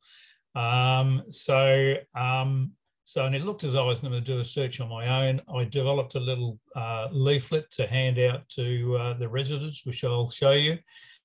Um, but on the Friday night, uh, I had a call as a guy from uh, um, Hadrien, um, I assume connected with the Desert Fireball Network, put me in contact with Martin, um, uh, sorry, Andy Tomkins. Uh, Monash University has a lot of experience in uh, in in uh, meteorite searches in the Nullarbor. Uh, and they were able to, so we had a bit of a talk with them. and they were able to ascend, assemble a team uh, to come out on the following Monday. And they had a student, um, uh, Angus, that was based in Bendigo at the time. And we agreed to meet uh, on the Sunday. I had to be there for another reason to, uh, to go and have a look at the area and to contact residents. So, and we were quite lucky. The first residents we contacted was in here somewhere. Uh, and it was a guy that basically owned all of this property and he owned another property uh, up in here somewhere. And he's also, he had a, a daughter that lived just in here who was a um, science teacher and was very helpful and cooperative. So we got an immediate uh, response and um, uh, and uh, cooperation with the local residents. We were acting on Denis's advice not to talk to the media, so we didn't talk to the media at this stage. So this is the leaflet that I put together. So um, so this was only handed out to uh, to residents. Have you seen any strange rocks? Um, uh, so there's a an image of the of the strewn of the of the strewn zones and examples of meteorites. I'd put the I'd put the uh, the video on YouTube by this stage. So there was a YouTube link and a few uh, frequently asked questions. I had a bit of an idea. I'd actually sat in on the Winchcombe meteorite, the BAA um, uh, video um, a few weeks before that, and so I had a bit of an idea as to what you should do with a uh, with a search and how you should go about it. So a lot of that is sort of taken from uh, the Winchcombe experience. Um, so um, anyway, so we contacted the um, uh, the residents, and uh, and then on the Monday immediately afterwards, uh, this is uh, oh, oh, my video is skipping around here. This is Andy. This is Andy Tomkins here, and he assembled a team of students and uh, and scientists. All had a lot of experience in doing previous searches to um, to have a look for the meteorite fragments. Um, so there we are. You can see it's um, on the ground. You can see it's quite difficult terrain. It's long grass, uh, quite difficult to see anything on the ground. But I, but you would have, we would have seen it uh, if there were meteor fragments there. We think we would have, we would have picked them up. But quite difficult country to walk over and and to see anything. Um, so uh, so then, so on the Monday, we, the Monday morning, we basically uh, searched this area here. Um, and then in the afternoon, we split up into two groups. I'd contacted two residents uh, that own property in this area, which is actually an easier walking, easy area, and sort of right in the middle. This lady, it was a lady here, had said she'd heard something on the on the roof one night. So I thought, well, that sounds a bit promising. And um, Andy and his team, as a larger group, uh, moved across to this area here and did a search in that in in that area. So you can see we've actually covered quite a large area of the strewn zone. Um, Andy had another map that had been produced from um, uh, from the people at Curtin, which suggested there might have been some drift uh, a little bit further to the north and west. But anyway, uh, we, we got a pretty good coverage, we think. Um, so found nothing. Uh, so, um, so despite all the advice from, from Denis, what I was asking about, uh, about meteorite hunters, uh, we thought uh, we'd found nothing on the ground. The best chance of actually finding something was actually to go out and uh, and uh, do some radio interviews and take people into our competence. we didn't show them the strewn zone. Um, so I did a radio interview with a colleague in uh, ABC Shepparton, and that was also uh, publicised in Bendigo. I went to her in Bendigo, and the ABC also did a feature article. Um, so um, um, so that's the that's a copy of the feature article from from ABC there. So I I'm in two minds about this because I know at Winchcombe, you know, they, they were lucky enough to find a meteorite in someone's driveway. And they only found that because there had been a publicity campaign and uh, and somebody reported finding this strange rock in there. So that's um, interesting how much coverage you should do. So it's a question. So um, um, so what are the positives out of this, all this? So um, well, we're out of this, we made some fantastic connections, of course. I, you know, I got to meet Andy and his team. Um, sorry, I'll just move that again. Um, and uh, we'll be much better prepared. Having met Andy and known his team, he's he's prepared to do searches in the in the future. They've done a, a couple of searches in uh, in, the, in the Nullarbor and not found very much. So somewhere in Victoria is much easier for them.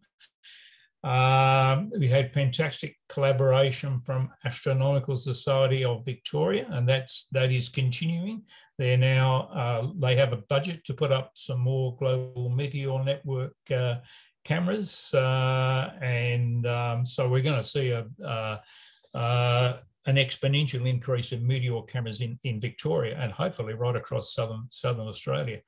Uh, and it was excellent promotion for the Global Meteor Network. You know, the fact, you know, that we were going out there with a lot of um, promotion of the Global Meteor Network on radio, etc. Uh, it was a good dry run. Next, the next time this happens, we'll be much better prepared. I'll know who to talk to and, uh, and what to do and where to go. Um, so that's so there were a lot of a lot of good news out of all that. The negatives, we didn't find any rocks, but we tried. Awesome. Thanks, Eric. Uh, yeah, one thing to, to mention is that uh, unfortunately the end of the fireball wasn't recorded. It just went just ever so slightly outside of the field of view, and that really hampered the, the, the success of finding anything because we had to estimate where it ended, and that just made the strewn field very very long. Um, okay, are there any questions for Derek?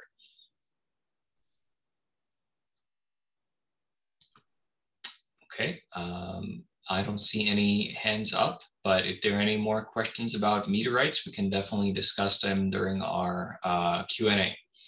And the final talk of the uh, the final talk of the meeting uh, is going to be a recording.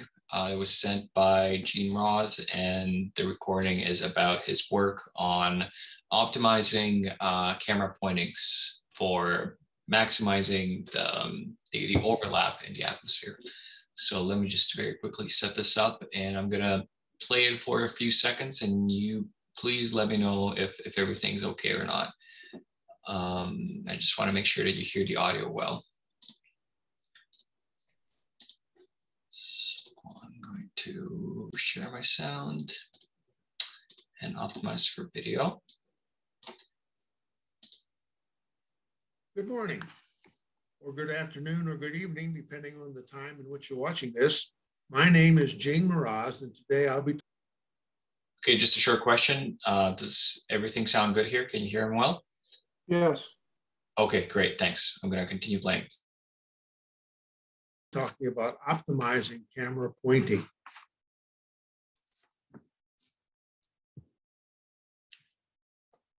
This map of meteor observations for January 2022 shows the current state of coverage in southwestern US.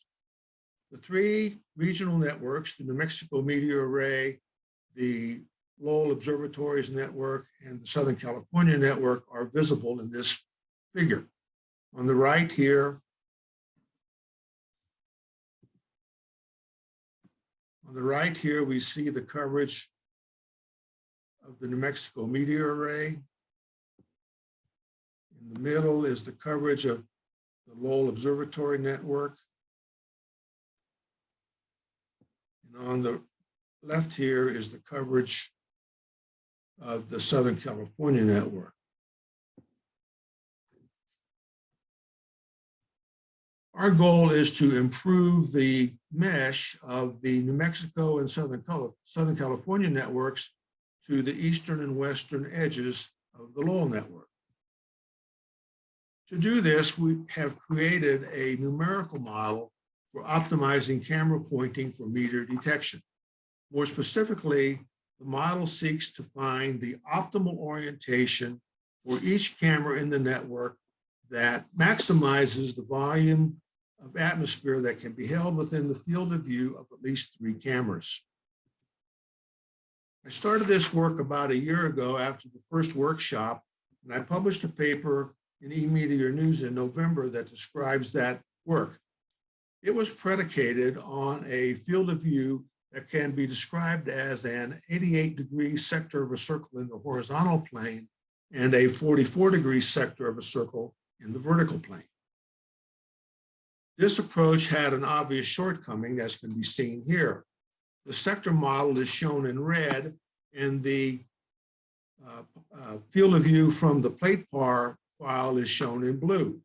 And it's clear that the sector model clearly misses the meteors that are out on the wings uh, as detected by the camera view, as detected by the camera and shown uh, in the field of view, as shown in the field of view of the platepar derived from the platepar file.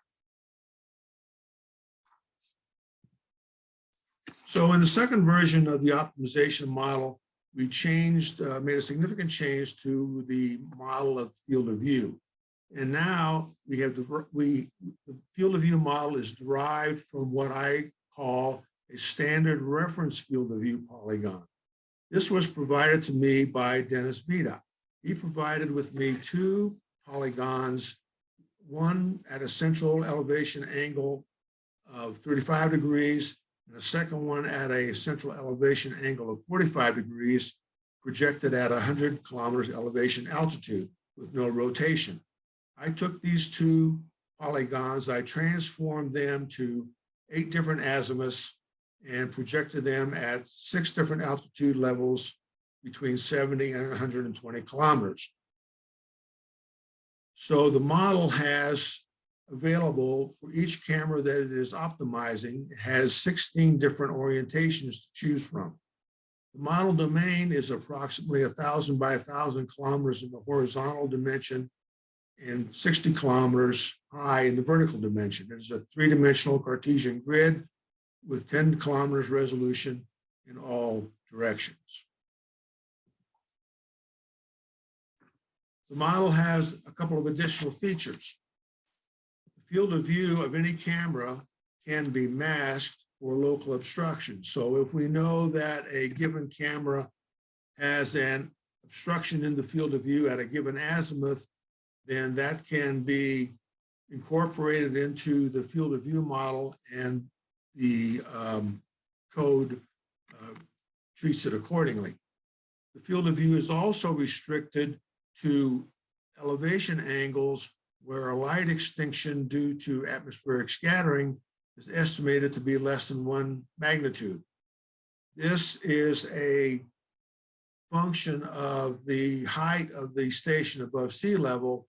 And so, for example, at zero kilometers at sea level, the low angle cutoff is at 16 degrees above the horizon, whereas at a high station at say three kilometers above sea level, the low angle cutoff is at seven degrees above the uh, horizon.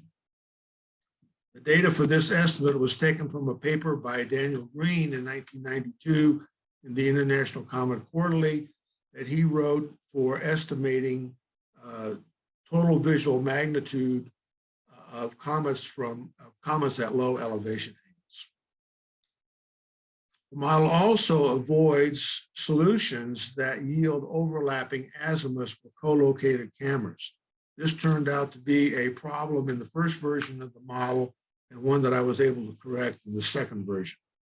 The code itself, the optimization code itself, is uh, conducted by a what's, what is known as a mixed integer linear programming process that is freely available on the SAS software platform.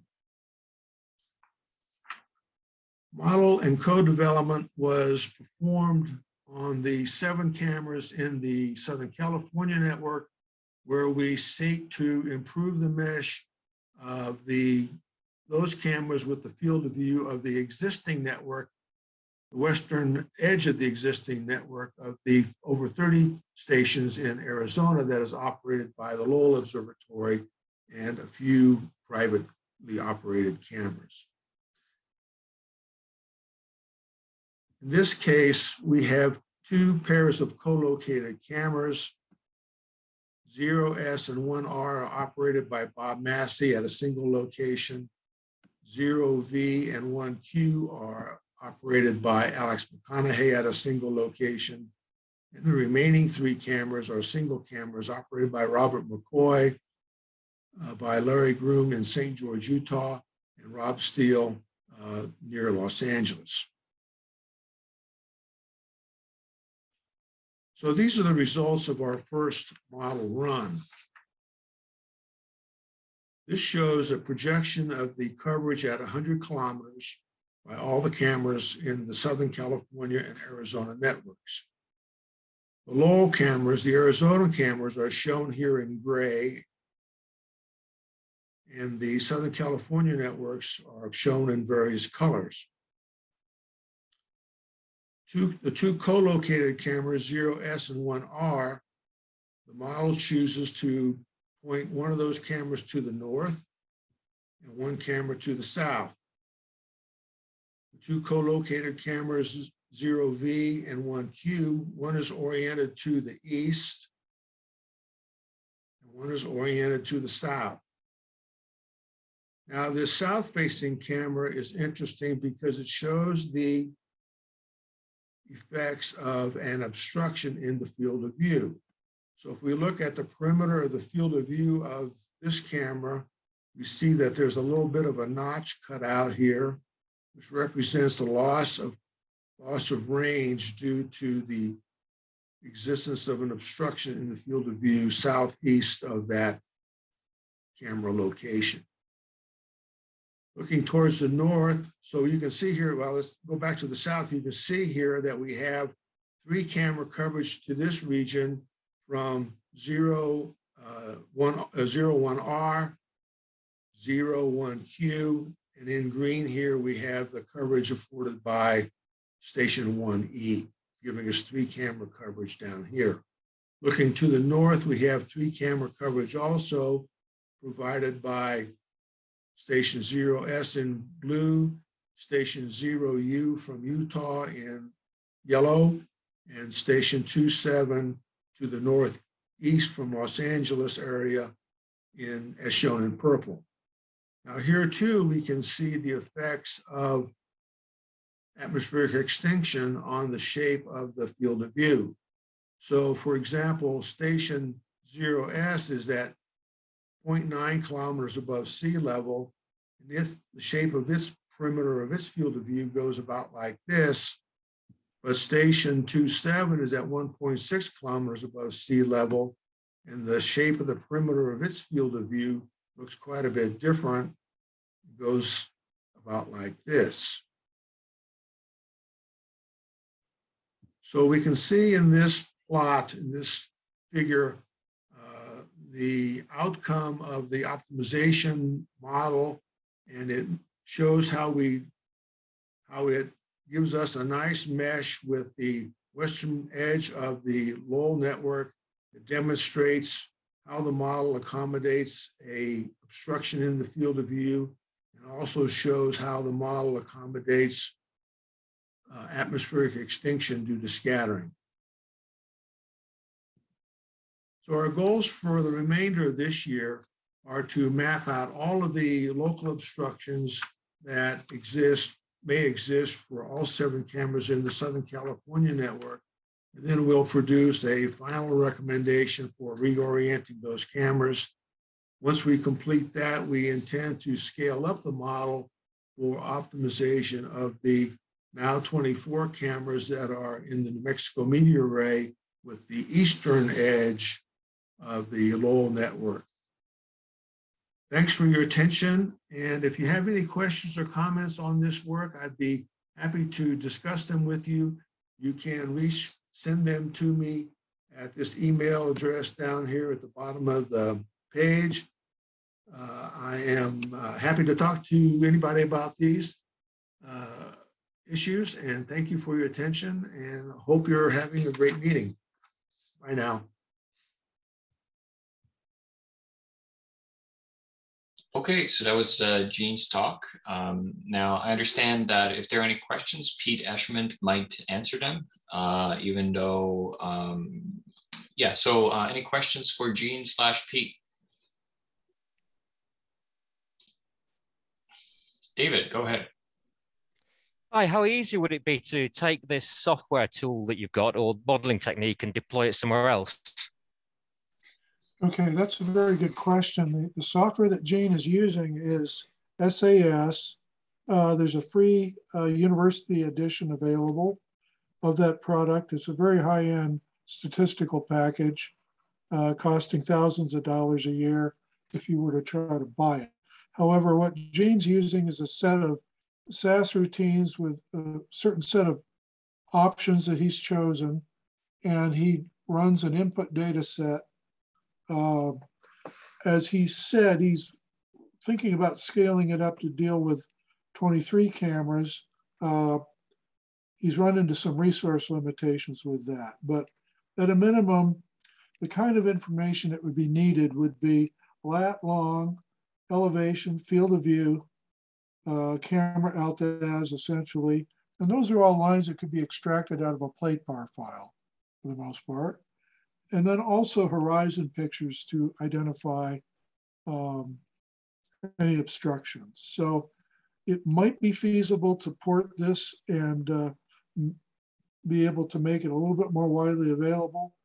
But this is probably something that would be a year or two out at this point. For you know, he's sort of trying to make sure he's got a good handle on on this. He's been evolving his techniques with it over the last year or so, and scaling it up to much bigger networks uh, could be a resource problem. Uh, so um, I don't know, did that answer any of your question? Yeah, that was a great answer. Thank you very much. Okay. So some someday soon it'd be great, but right now it's kind of a underdevelopment would be one way to look at it. Now, I believe if someone is able to provide that information, that Gene would be able to run the optimization method for them, right? Okay, yeah, that's good. I, so I believe that's true. I don't know that he's asking people to send in data at this point.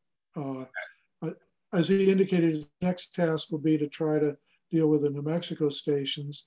He started with California because it was a relatively limited number of stations, mm. and thus it was easier to to work on developing the algorithm. Mm. Yeah, as far as I know, Gene is the first person ever to come up with some sort of an automated way to optimize pointing directions, which which is absolutely amazing, and that's something we should definitely deploy for for planning other uh, other local networks. Um, I see that Derek has uh, another question. Derek, please go ahead. Um, yeah, I just um, this might preempt uh, part of the Q and A, but I just wonder in Victoria, where we're starting pretty much with a blank canvas, uh, does it also lend itself to looking at where you should locate cameras uh, within a given area? Mm-hmm.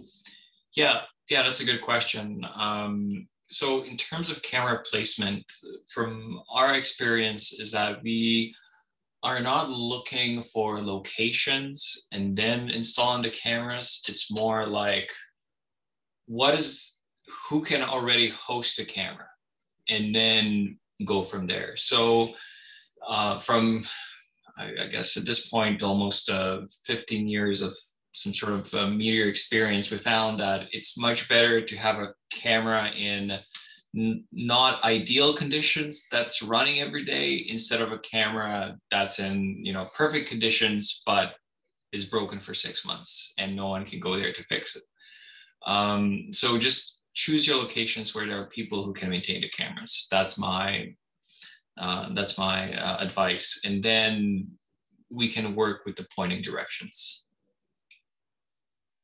one thing that was touched on earlier um, is that in some rural areas, certainly in the US, uh, there's not very good internet available, availability.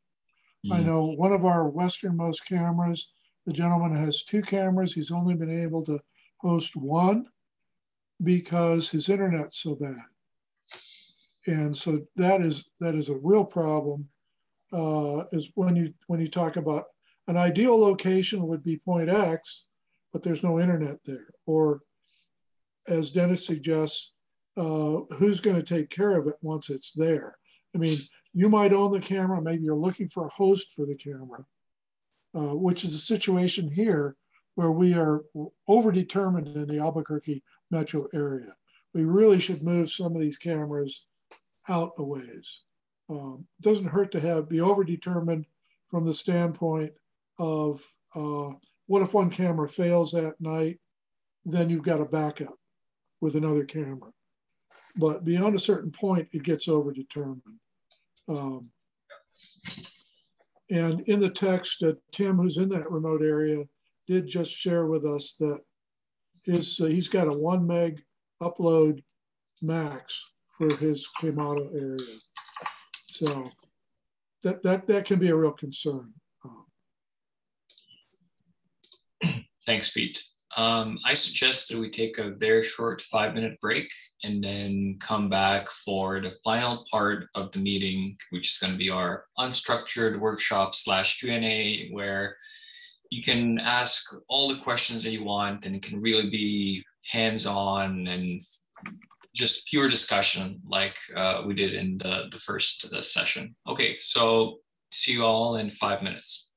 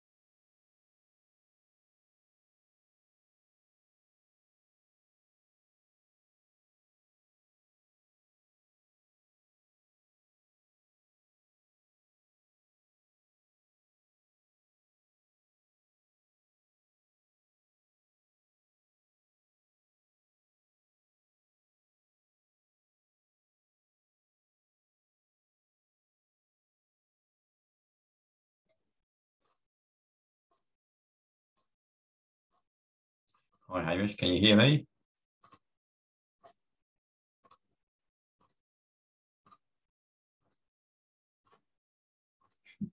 I can hear you. okay, we just switched off. We just muted ourselves.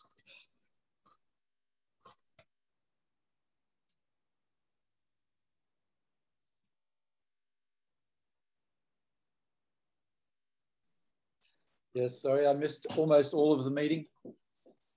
It was uh, too early in the morning for me here in New Zealand, and uh,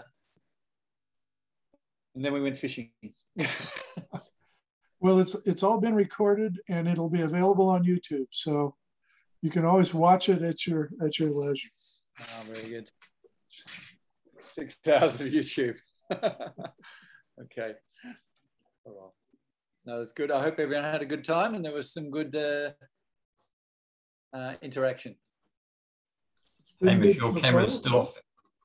It's still off the air, I believe. Uh, I think my video's on. Yes. Yeah. Well, you're in time for the, the Q&A session. So, uh, but I know, for instance, last year's conference, Denis did a great job. He had on the YouTube section, uh, he had bookmarks for each talk. So you didn't just have to go from beginning to end. You could, you know, hit certain talks one time and go back and catch others other times. So hopefully he'll do something similar this time.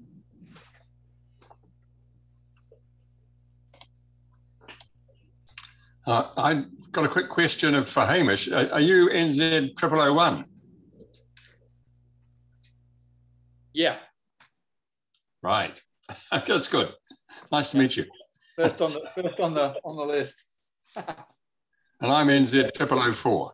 Oh, all right. You're down where you're down in Dunedin, are you, Peter? Or no, Martinborough. Martinborough. Where's Martinborough? It's east of you. Yeah, I think. Where, and I'm in Z003. Blenheim or across the strait? Across the strait. It's in Martinborough's oh, on the south south of the Wairarapa. Right, right, right. Yeah. Is there only one down there? Or is there anyone else? Yeah, indeed. Oh yeah. Where are you, Bob? In Invercargill. Invercargill last night. Yeah. I have a spare camera. Um, it's not fully configured yet, but I have all the parts. So um, I don't know. Pete, is yours pointing across the Cook Strait or towards the north or something? Northeast. Would it? Would you have bad light pollution if you were to point one east? you, you mean from only from the moon? And Oh, gee whiz, what's that noise? sorry, that was a clock. Um, yeah, anyway, We, we can do this offline. yeah, indeed. No, it's really good to see that the, the discussion started. So uh, yeah, we have some new people here. Um, who wants to introduce themselves, please? Well, we, we want to know who you are. Well, I guess I've been talking, so I may as well. I'm Hamish. Um, yeah, I was New Zealand 001 or 0001. Is it 0001 or 001? Anyway. Um, yeah, so in Nelson, uh, there's myself and uh, Jeremy over in Motueka, about 50 kilometers to the east. We have an overlapping um, view, so we do a little bit of triangulation. I'm not sure how good our data quality is, but um, we don't seem to get terribly many um, triangulations. Um, but anyway. Not that many, but there's room to grow. Okay, uh, do we have Yeah. um, anyone else who joined us recently who wants to just very quickly introduce themselves? Um, I'm trying to look through the list, maybe. Well, if not, uh, we can continue with uh, with our meeting. So this is the last part of the second session, um, and this is our Q and A slash unstructured workshop, where uh, we can really talk about anything from hardware, software, uh, strategic planning of the network, to if you're interested in some scientific details about anything, really anything, uh, anything of interest. So uh, perhaps which we can kick this session off with some uh, questions that uh, Derek Polton asked. And then we can just kind of go from there. So I, I see, Derek, that you already have your hand up. So uh, do you want to say something? Yeah, uh, I'll just ask a question with, uh, good to meet, C. Hamish, by the way. It was very helpful when I was setting, setting up a few months ago. Um, um, I, I assume there's a camera down in Melbourne. I don't know who owns it, but it's offline at the moment. Is there a privacy issue about, about disclosing other camera operators? Uh, uh, and yeah, Yeah, so when someone reaches out and says, Oh, I want to come in contact with that person, I contact that person and I say, Oh, there's someone who has another camera and wants to get in touch with you, and then just leave them the contact information. And I leave it up to them if they want to get touch or. Uh, but as far as I understand, the person who's running the camera might be um, a, a professional who might not really maybe get involved on too too too high a level. That's at least my my understanding. It is what it is. Um, yeah, okay. Okay. Uh, Pete Pete Graham, you wanted to say something?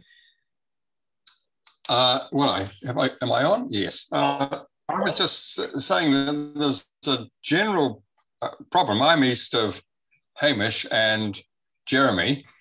Um, I'm looking north, they're looking south, and New Zealand's uh, got a particular geography which is very north-south orientated. So for uh, meteorite um, tracking, there's not a lot of options east-west. They're all more likely to be north-south. But I, it's, so it's a question of scale, I guess. Um, which is the best way to orientate any particular camera? Is it to go up and down the landmass? Yeah, I mean, so yeah, that's a great question. So it really depends what directions are available, and if you have any directions, then it really depends on the location of the second camera. And if that's not a problem, then it depends where you want to do. So if you're interested in recovering meteorites, well, definitely you want to be looking over land instead of over sea. Um, however, yeah, I mean, these are the constraints. Uh, we really have to know the actual locations, and then we can uh, we can go from there. For example, in, um, um, I think Hamish Hamish's camera and Jeremy's camera they're just very close together, only 50 kilometers apart. So the only uh, viewing directions they they have to both look like this, and I think they're they're looking. Are they looking inland or oversea? I don't remember uh, exactly, but these are the limitations. And once you know Inland, inland. inland, excellent. Uh, and once you have those constraints, then then you can go from there. Um, but I see a couple of hands up from uh, uh, David. David has his hand up. David, go ahead. Can you tell us a bit about the difference between the Desert Fireball network and the Global Meteor network? Because I, I, from what I understand, the two networks do complement each other rather than compete. Yeah, yeah, definitely. Uh, so the Desert Fireball network, their goal is to recover as many meteorites as possible, to observe meteorites in the atmosphere. Uh, and the way their uh, expansion worked is that they were they contacted institutions, universities, museums, et cetera, et cetera. And those institutions then host the cameras. Um, their cameras are all sky However, their sensitivity is much, uh, much less sensitive. So they only observe big fireballs that happen very rarely. Uh, and uh, their goal is just basically meteorite recovery. And Western Australia is probably one of the best places in the world to do this because you have this orange soil that's devoid of almost any vegetation. And when a black rock falls, it's really easy to, easy to spot right? Um, and DFN is also active in other uh, countries in the world. We also have a, a network here uh, in Canada. And in fact, my group operates some DFN cameras for some of our work. In fact, the way my research group operates is we just get everything that we can get our hands on and we install it and see how it performs and, uh, and test it just for comparison and of course for, uh, for learning so the way it works with the Desert Fireball Network in Australia is that uh, they are established, and usually from I guess you know my perspective, I contact them and say, hey, there's a group of people, amateur astronomers, installing cameras in uh, your region, and I told them anytime a fireball happens, if you need something, you know, we'll contact people, we'll make sure the data is available, anything that you need to make sure that that meteorite is recovered. So from you know our perspective, we don't really want to compete with anyone uh, locally because we, I mean, we can't. They have uh, networks of people, they have resources, and we are here to support scientific efforts that are already in place. If they do not exist, then the GMN is the primary uh, primary network uh, in that area that's basically the idea. Uh, we don't want to take anyone's work. We just want to enhance collaboration because there are things that the GMN can do in terms of data quality and precision that others cannot. And it's nicer to have 10 people on the paper than five and to actually increase the quality of the scientific publication. And of course, to, to connect amateur astronomers and professionals and really put um, you know, make sure that if you're running a, a camera, that that data is useful and you're actually making a good contribution uh, instead of just you know producing pretty pictures. Um, I see a few more hands up. So uh, David, I guess you can go again. I just make a comment, Denis? Uh, I, from a Victorian perspective, um, when I spoke to Andy Tomkins, he's got two DFN cameras that he's basically got available to deploy, but we're also looking to deploy increase the coverage of GMN, uh, RMS cameras, GMN network. Mm-hmm. So I, you know, I, I don't, I have no knowledge, you know. So do you try and deploy both, or you deploy them together, or what? What do you do? I mean, whatever you can do. So, uh, so because we have the experience here of, of, of, running almost every single available Fireball network and software or anything media related, uh, we can directly compare what they do. And we found that in fact, having more cameras is better than having less cameras. So if you can deploy them, that's great. Uh, and they're not hard to run. Uh, the DFN cameras are more or less automated. And if there's a problem, uh, people can remotely connect and fix any issues. Uh, but the again, the, the major problem of, of how some other fireball networks install their cameras is they go for institutions. And especially during COVID, like a lot of cameras were down simply because they were on a museum somewhere or at the university and no one was even allowed to go in. Or, for example, uh, I know some issues where they installed the camera at a roof of, a, of an apartment building of a university and something breaks, the only person who can go to the roof is the janitor. Oh, the janitor is on holiday or on a leave. No one can get there, blah, blah, blah. So it's much easier when it's your your home. Something happens, I send you an email, you go out, you know, look out the window. Oh, yep, done, fixed. And this is why we're so successful is because we just kind of don't have any of the red tape, the bureaucracy that other people have to go through. We just don't care about that. We just why why do that at all, right? Um, I can understand from their perspective because they think that professional institutions are more serious and they can be more reliable. And you know, if you're giving a, you know a twenty thousand dollar camera to someone, you want to make sure that that person is not gonna I don't know sell it or wreck it or or, or whatever. Um, so it's a completely different approach. Our cameras are so cheap that it's it's almost not not for them. It's yeah they don't care. It's so cheap. Um, okay, I see that Steve Welch has hid, uh, his hand up for a while. So Steve, go ahead. Uh, Steve, you're muted. Okay, I'm going to ask you to unmute. There we go. That worked? Okay. Sorry about that.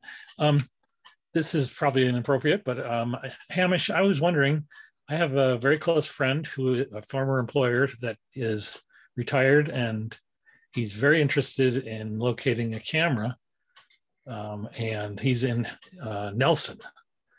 Is that that's I think that's just more or less where you are, right? I'm in Nelson, yeah. But I guess we could also have another direction, but it'd be best if we have another one. I think probably maybe sending it across to Peter if if we can work out that we can send you know aim one east uh, west towards us and then it would be like 120 130 kilometers away it would be probably an ideal distance. Would you say uh, Denis? Yeah uh, anything between let's say 50 to 300 kilometers is great. I think if if anyway we can pete and i can do this offline. Awesome. Okay any other questions or comments uh, regarding any current topics? Uh, Paul, go ahead. Yeah, um, we were buying all this uh, stuff from China, and I was wondering how is it possible that there is no interest among Chinese amateurs in this stuff.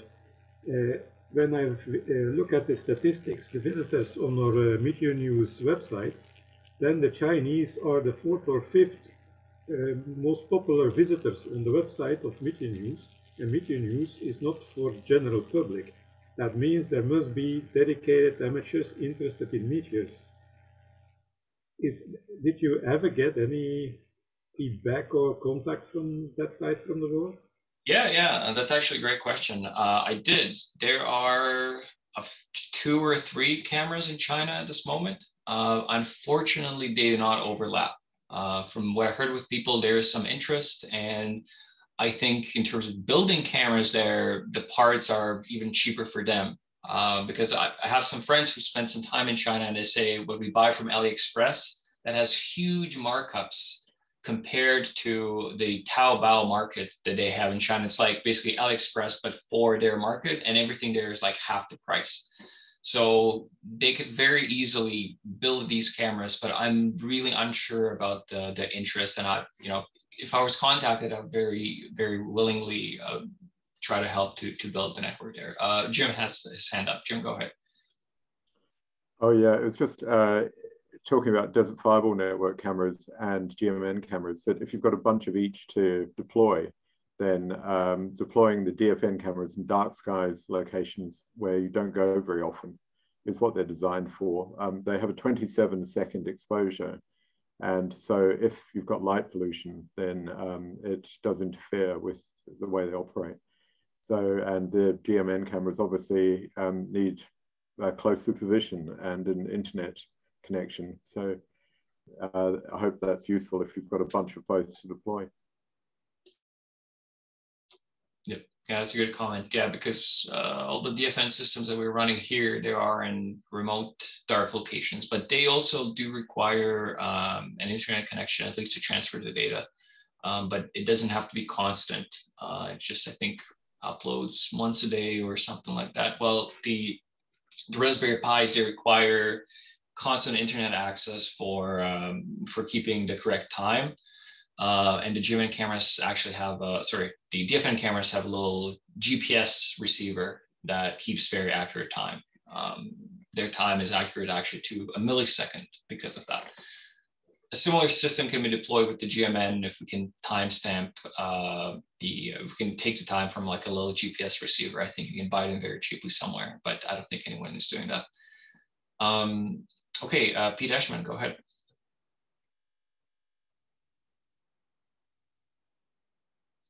Okay, um, to my mind, the biggest problem we're facing right now is the shortage of Raspberry Pis. Mm. Uh, I know that we can buy the Pi 400s. We've seen some of the two gig Pi 4s show up at one or two vendors. They're typically bundled as kits so that they can sell power supplies and cases and stuff. We've been able to get a couple. Has there been any serious consideration to trying to find a different single board computer? And would they also have the same supply chain issues that we're seeing with the Pi 4. Because I know Mr. Welch there, you know, made made arrangements to let DigiKey let him know when they'd come in stock, and he went, "Oh boy, a month from now," and then he realized that was no, a month from now next year. I mean, this is way out now. Yeah, I mean, as far as I understand, the semiconductor shortage is, is really widespread. And however, Raspberry Pis can be obtained. Um, so the IstraStream guys, uh, they have their connection and they were able to very recently buy 50 Raspberry Pis. And the people they were talking to, they were, to them, 50 was such a small number, they didn't even want to talk any further, but they were able to convince them to give them 50. So if we had a huge order of 1000 you know i think we would be able to get our hands on on it i guess through their connections. But uh, yeah i'm not sure uh, as long as the other types of raspberry pis are available like the 400 the price difference is not that high and it works just as well. I think we can we can work with that um, i also see a hand up from david david go ahead uh, just talking about the Raspberry Pi shortage, I've had great success using five, six, seven, 10 year old Linux PCs, not even any desktop running seven cameras, and it's absolutely bomb proof. The only time it falls over is if it loses the power supply. And it's installed using the script developed by someone in the in the network, and it's it's so simple. Yeah, and they they're available secondhand so readily. Mm-hmm. Yeah, definitely. They can run multiple cameras, um, and that's yeah, that's a great alternative um, in, in, instead of Raspberry Pi. So I just want to quickly address the question of can other uh, similar boards to Raspberry Pi be used? And I really don't know. So what I can tell you that when we first started testing different boards back in 2015, 16, uh, we spent I don't know how much money buying everything that was available on the market back then. And the Raspberry Pi was the only board at the time uh, that was stable enough to run the software that didn't have any weird issues or bugs. And also, the most important thing is that it had the, the drivers that enabled the video uh, decoding to run on the GPU and not on the CPU uh, because the, the the processor in these single board computers are so well not they're not powerful enough to run live video decompression like on some sort of a PC based CPU. Now that was a long time ago. Perhaps now there are other options. If you're interested in that, please go ahead and try. And uh, if, if, it works, I think that people are going to be very happy if they can use uh, alternative boards. Um, uh, Derek has a question. Derek, go ahead. Um, yeah, I've put up a few questions, but I, one's a suggestion to sort of move the topic on a little bit, I suppose, was, um, I, you know, I had some experience putting a camera up. Mm-hmm. I just wonder whether it would be a good idea to have a debrief after somebody puts a camera up, because uh, there are, uh, and this is not, I've had fantastic support from you and Mark and others. So um, but there are issues that you that you come up against and getting some feedback on those issues would help to maybe have a continual improvement of the wiki page and sort of help help other people along the way. Um, so that would be a suggestion. Mm-hmm. Um, and the other one we've really uh, we've sort of touched on a bit, but we've got a pretty blank canvas in in uh, Victoria, and I'm just I'm wondering how we should. But I think you've already addressed that question. So, um, mm-hmm. Any thoughts on a, a debrief? Yeah, yeah. Um, yeah, that's that's really great. Uh, so the wiki page is designed in such a way that anyone can edit it. So what what I would do is if you have suggestions that you can make and you see something you say okay you know this can be improved this can be made clear uh, i can make you an account on the wiki page and yeah. Go in and if you have something that you want to discuss we can discuss it on the group and say yep go ahead and uh, and make that change um, because uh, you know I understand that it might be hard for me to see something from uh, from your perspective, and then the best way for uh, other people who are starting in the network is to get direct advice from people like you who went through the process recently from the same uh, from the same perspective. Um, so that's definitely one thing that that, yeah. that we can do. And I think uh, there are many improvements on the wiki page that were, were made by um, uh, Pete. Pete, who, who made those improvements? Uh, was it Bob? Bob Massey, right? Bob is here. Um, he made some great additions to the wiki. And I think before the, those additions were made, he kind of created a document and then we discussed individual items and then he implemented them in the wiki. And I think we can, we can do the same thing. I, what do you think about that? Yeah, look, I, I, I, one of the things I struggled with was that there was a reference to the camera had a dedicated uh, or prescribed IP network, and it doesn't. You've actually got to go and find it. So mm. they're, they're things, and you wouldn't know about that because you're not installing them. So um, I think that's actually quite a good process. Maybe to if there if there are problems that I've found or Bill or others, maybe bring them back through the forum and then make it make a change if appropriate. Mm-hmm. yeah. Yeah, yeah, definitely. Um, sometimes um, different sellers uh, deliver different types of boards and things are constantly in flux.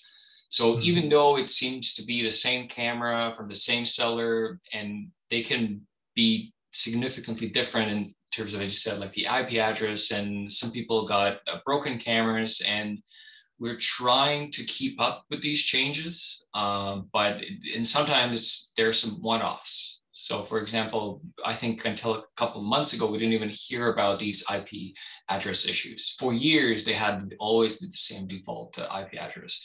So probably the best way to do it would be, again, to give you access there and say, okay, let's modify the wiki page where it says the IP address should be there, put a little asterisk and say, recently we started noticing that they can have a different IP address and this is what you should do.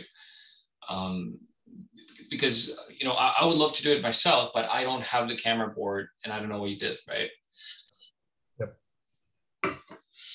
So yeah, if you want access to wiki, um, I think you can register and then you have to let me know what your username is, and I'm gonna uh, check you off as an editor where you can go in and make changes. Okay, thanks, Denis. Don't worry about messing something up. We can always roll the roll the changes back. So you can't do anything wrong. Okay, um, further questions or point points of discussion? So I believe uh, that Derek uh, asked a question of how to design um, um, a camera network from scratch and when you have a blank canvas. And that's a, that's a really good question. And you know, in different countries, we had different situations and different experiences. Um, it can go from, you know, a very difficult expansion to uh, an extremely rapid exponential COVID-like expansion, which cannot be stopped or controlled, like we're currently experiencing in the UK, where the number of cameras there is just so overwhelming that we just have an issue of, of keeping up with the number of new cameras. Um, so I think that in terms of what you can do in Victoria is first, it's good to have like a preparation of uh, just talking to people and say, oh, I'm running this meteor camera. This is what I get every day, like, or oh, I recorded a fireball. Are you interested? So I, as far as I understand, you did a lot of that prep work. You can you connected to people in the local astronomical society, and I, I would recommend that that type of organic growth is the best way to do it.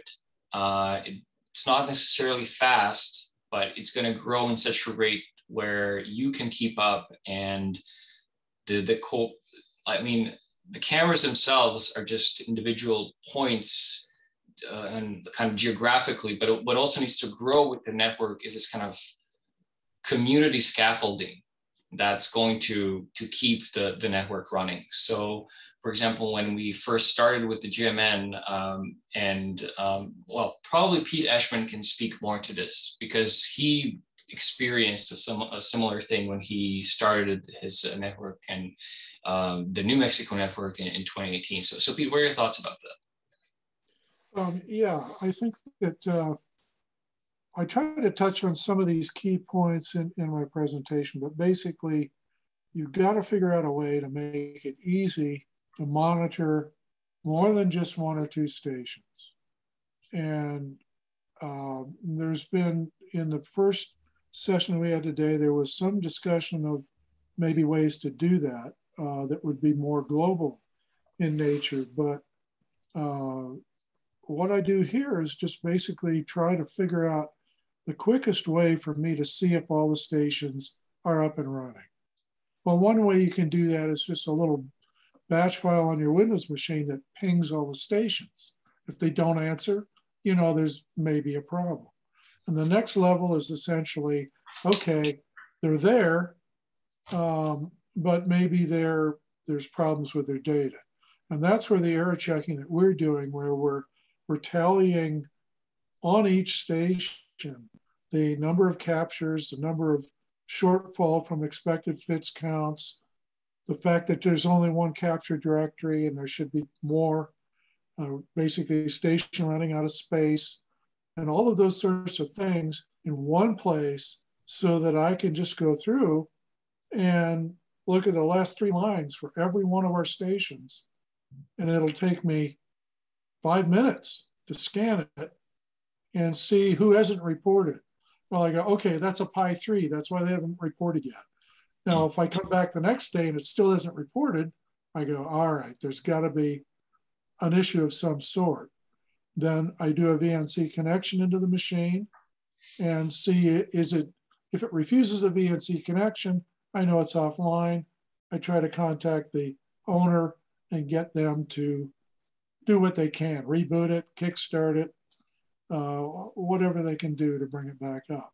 And then eventually we'll find that we've got a uh, a Pi 3 with a corrupted micro SD card, which is not uncommon. And so you've got to rebuild it from scratch. And it takes as much work to rebuild it from scratch as a Pi 3 as it does to build a new Pi 4 image with a Pi 4.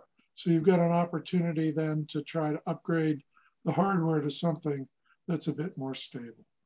So, you're coordinating mostly the uh, the day-to-day operations of the network, um, and one way of coordinating the network is to have a central person like Pete, who's going to be doing most of the, the, the coordination. And another way is to have kind of a decentralized system where people take care of their things. But that's again harder to to organize. It really depends who who you're working with. So if you have someone who's willing to host a camera but not participate much then you have to be aware that you will be the one responsible for for making that run um, um, so for example we have uh, there's a similar situation uh, in Croatia, for example, where Damir is the, the coordinator of the local network, and other people are just very happy to participate and install the camera, keep it running, but there is very little further participation beyond that point. Um, so you really have to gauge the, the situation and, and be sure, like, should I engaged in this or not, or is that going to be some sort of kind of a further, um, you know, how much uh, dedicate how how much time I can dedicate to um, to, to to this project. Uh, my only suggestion is probably take it slow uh, and see what happens. Um, because when we were starting this network, uh, the software wasn't in the hardware, they weren't in a mature state where we could um, basically just uh, deploy many systems and expect them to run efficiently. And I actually was stopping the spread and telling people, no, it's not ready yet. It's not. And people, no, it's so cool. Let's do it. Like, no, no, we can't do it yet. And then only very recently it re- reached a mature state where it works reasonably well um, most of the time. Some stations still have many issues uh, because of uh, older hardware, older software, and some appear to be completely random that we can't uh, can't diagnose. And however, there are some cameras that are running for three years now without a single issue ever in a remote island of La Palma at the top of a mountain, and no one's been in the room where the Raspberry Pi is for two years now, and seems to be running perfectly. So it's it's completely random. Uh, so Pete, you had uh, you had something to say. Go ahead. Uh, yeah, I know that even today, I'm I'm kind of torn I, we talk about public outreach and talking a lot about the meteor camera system because, um, yeah, it's a great thing. Well, if I get 50 people who want a camera, what am I going to do? I mean, I'm trying to manage my own workload to some extent. And all the cameras we have here, all but two or three of them were built by either Steve Welsh or myself, or uh, you know, we try to get build parties where we we get people to do the hands-on assembling of the Raspberry Pi into the case to try to demystify the Raspberry Pi. But we gave them cameras that were already in the enclosures, ready to go. They had to put sealant around the glass and that sort of thing. So it's always been kind of a balancing act of the more you talk about how great it is, well, then what are you going to do? You know, how, how are you going to help these people out then? And it'd be really nice if we had a commercial supplier for meteor camera stations. Um, uh, my situation, I'm retired. I'm not looking for a job building meteor cameras. but it sure would be nice if we did have one. You know? Yeah, well, IstraStream does that, but mostly just for the European market. I mean, they can send worldwide, but if you're willing to pay the shipping costs, right? Uh, in terms of someone building it in North America or other parts of the world, yeah, that's that's a good question. I, I had talks with people who um, um, uh, have some like big um, um, people who are doing like tracking cameras and stuff like that. But for them, I think the numbers are still maybe too small and their prices would be significantly higher. So at that point, I don't think the cameras are competitive anymore. And I think that, you know, go, going the way of building your own cameras is the best in terms of kind of price to effectiveness ratio. Um, but okay, uh, Bob has a comment. Bob, go ahead.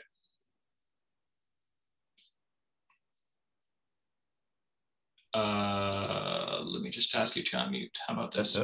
Yeah. Uh, um, I got my camera built by the Croatian group, mm-hmm. and I was entirely happy with it. It works, no problem at all. And I hope I plan to get them to build my other, my next one. So I'm not sure how other people are using them. Yeah, so uh, the way IstraStream works is that they actually um, make the camera and they test everything and configure everything and make sure that it's going to run so people don't have any issues with it. Now, with your custom builds, the uh, you know some issues that can occur are um, uh, the power supply is probably not that good, or the SD card quality is not great. And all these things play a very significant role in the stability of the system. And it really depends, you know, what parts you can buy locally, and then that influences everything. Um, you know, I, I know when I'm always building cameras, I would just buy the SD cards at Costco. They were great. If you buy the same types of cameras on Amazon, they were garbage. So these are some things that you just kind of have to figure out on the way if, if you're making your own build. Um, Steve, Steve has a question, go ahead. Uh, let me just ask you to unmute, how about this?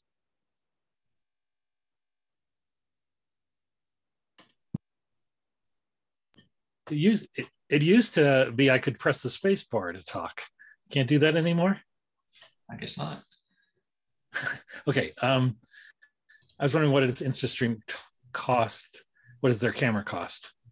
Uh, these are stream cameras. Yeah, so they are, uh, I believe, 500 euros uh, now. So that's about 500 US, more or less, maybe a bit more, 550, I think. Okay, because uh, you know, I have a camera in the Netherlands that isn't working, and I'd like to just replace it with a working camera if I could. That'd be great. Now, if they get an IstraStream camera, is it going to be configured to to talk to their server or what? How does that work? Um, yeah, so what they can do is they can provide like a fully plug and play solution where you say these are the coordinates and we're gonna figure out the station code and everything. And then uh, if there is no complicated installation locally, if for example there's Wi-Fi locally available uh, and you don't have to connect it to a local network, it's kind of plug and play. It just connect it to the Pi, connect the Pi to the Wi-Fi, and that's it. And then after that, it just needs to be calibrated. Um, but probably, I think Paul Roggemans can can comment on that. I think um, they were buying some cameras with maybe a more complicated installation setup, but I don't know how well. IstraStream people are trying to be supportive as much as they can unfortunately, English is not their forte. So it kind of goes through me most of the time and I can be slow. Um, I don't know, Paul, if you have any comments. Uh, yes, I bought all my cameras from uh, IstraStream and I'm very happy with it because I'm not a technician. So for me, all of this new technology, when I got my first camera, I know that Denis spent uh, many hours trying to solve remotely problems here. And uh, later on, the people from uh, iStream were always very helpful, just via AnyDesk, uh, try to check what's the problem and to solve the problem. And uh, I just got a message, hey Paul, everything is okay, hey, I fixed the problem, it's working now. So I'm very pleased with their service. Uh, you can rely on them okay, it's true what is a communication, their English is somehow limited, but uh, as long as they know how to solve a problem remotely, I'm happy with it. So uh, I'm very, very, I can recommend them. They are totally re reliable and very helpful. Good. Well, thank you, Paul. Um, so uh, I see that uh, Hamish had the question, uh, in addition of, uh, of cameras in different parts of the world, adding value uh, to the scientific in term uh, to, oh, sorry, to the science in terms of meteor stream orbits or just in terms of falls? Well, it's both. So um, in terms of observing meteor showers, the longitude, sorry, the hemisphere where you're located is critical because in the northern hemisphere, we don't see any southern hemisphere showers at all, and the other way around. And also, there's a question of timing. Uh, so we know of some meteor shower outbursts that last 15 minutes. So if uh, they happen over, I don't know, when uh, uh it's a day in Europe or North America or whatever, we just won't see them. So you need a large latitudinal coverage and large longitudinal coverage and make sure that you have both covered and that way nothing will get missed. So, you know, I, I can tell you right now that there are probably meteor shower outbursts uh, in the last decade that just went completely unnoticed. Um, for example, in 2011, there was an outburst of the draconids that was predicted and really well observed, and everyone made sure to have their cameras running and everything's fine. And then in 2012, there was no prediction, and it happened. No one noticed for two months that it was a 10 times larger outburst. It was actually like very dangerous for astronauts to be doing spacewalk at that time. No one noticed. Uh, it was only a student here who was bored during Christmas holidays and was going back through our radar data and noticed a huge spike. And the reason why we started this network is we don't want to miss that stuff. like that is a data point that we cannot measure again. It will never happen again. Unlike other uh, uh, other fields of astronomy, they can probably always go and observe a galaxy once more or you know an asteroid is going to return every once in a while but a meteor shower outburst it just that's it like you lost it and then if you go back and try to do your modeling and then you go back and say well you know there was supposed to be this outburst in this year but it wasn't observed so my model is wrong well no actually there were no good observations so that's that's what we're trying to tackle with uh, with this uh, network just the availability of availability of data. And the problem was until we started, it just it was very very limited. Um, okay, uh, any other questions?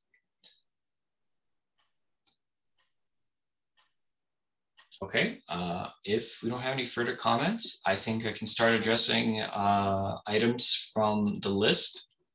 So um, there is a question. Uh, oh yeah, Pete Eschman has something. Pete, go ahead. Yeah, I just want to follow up on the comments that have been made about uh, running multiple stations off a single Linux box. This is something I would very much like to follow up on. If there's a group that can help, I know Bill Wallace has some experience with this, but uh, I would really like to move in that direction. I'm just not, it, there have been too many options put forward as to how to do it. And I'm looking for an option that would be the most straightforward, the most simple to implement. I've got a box on loan right now that I could, that's running uh, one of the uh, Linux flavors Ubuntu 20.04. I just need some hand holding on how to really bring it up. Now I know this that Ed Harmon has got some scripts out there. That's fine, but I'd really think it would be appropriate, especially with the difficulty in getting Raspberry Pis to put more of an official effort. Well, there's nothing official here, but I mean, more of a group effort into uh, getting a good uh, plug and play kind of solution that would use a Linux box, an old Celeron, an old laptop, or what have you to run, say, two stations. And then maybe expand to three. I mean, obviously, uh, people are doing it. It's just um, hasn't really been packaged in a way that makes it easy for a neophyte to just jump in and do it. So that would be my on my wish list. Mm-hmm. Thanks. Yeah, absolutely agree. There's so much more that can be done, and uh, it's it's really hard to push something over the limit where it's very easily accessible to to to everyone. It's you know if it's like designing a product for you know mass commercialization. It's you know it's nice to have a prototype, but the hard part is how to you know make it accessible to everyone and really kind of produce uh, large batches. Um, David has uh, a comment. David, go ahead. Yeah, Peter, I'm quite happy if Denis can put you and me in touch with each other. I've built several of these machines running on Linux boxes, and it's it's much more straightforward, straightforward than it, it might actually initially appear to do. Um, so if you can uh, if you can reach out through Denis, I'll happily spend as long as it takes to get the machine up and running with you. I'm going to immediately send an email to David. Thank you. Yeah. Denis can be the intermediary and we'll uh, establish contact here. You cover I, that. I have used Ed scripts to do a single station install. The, the, the dilemma now is do I clone that user? And I'm not sure I have all the necessary pieces.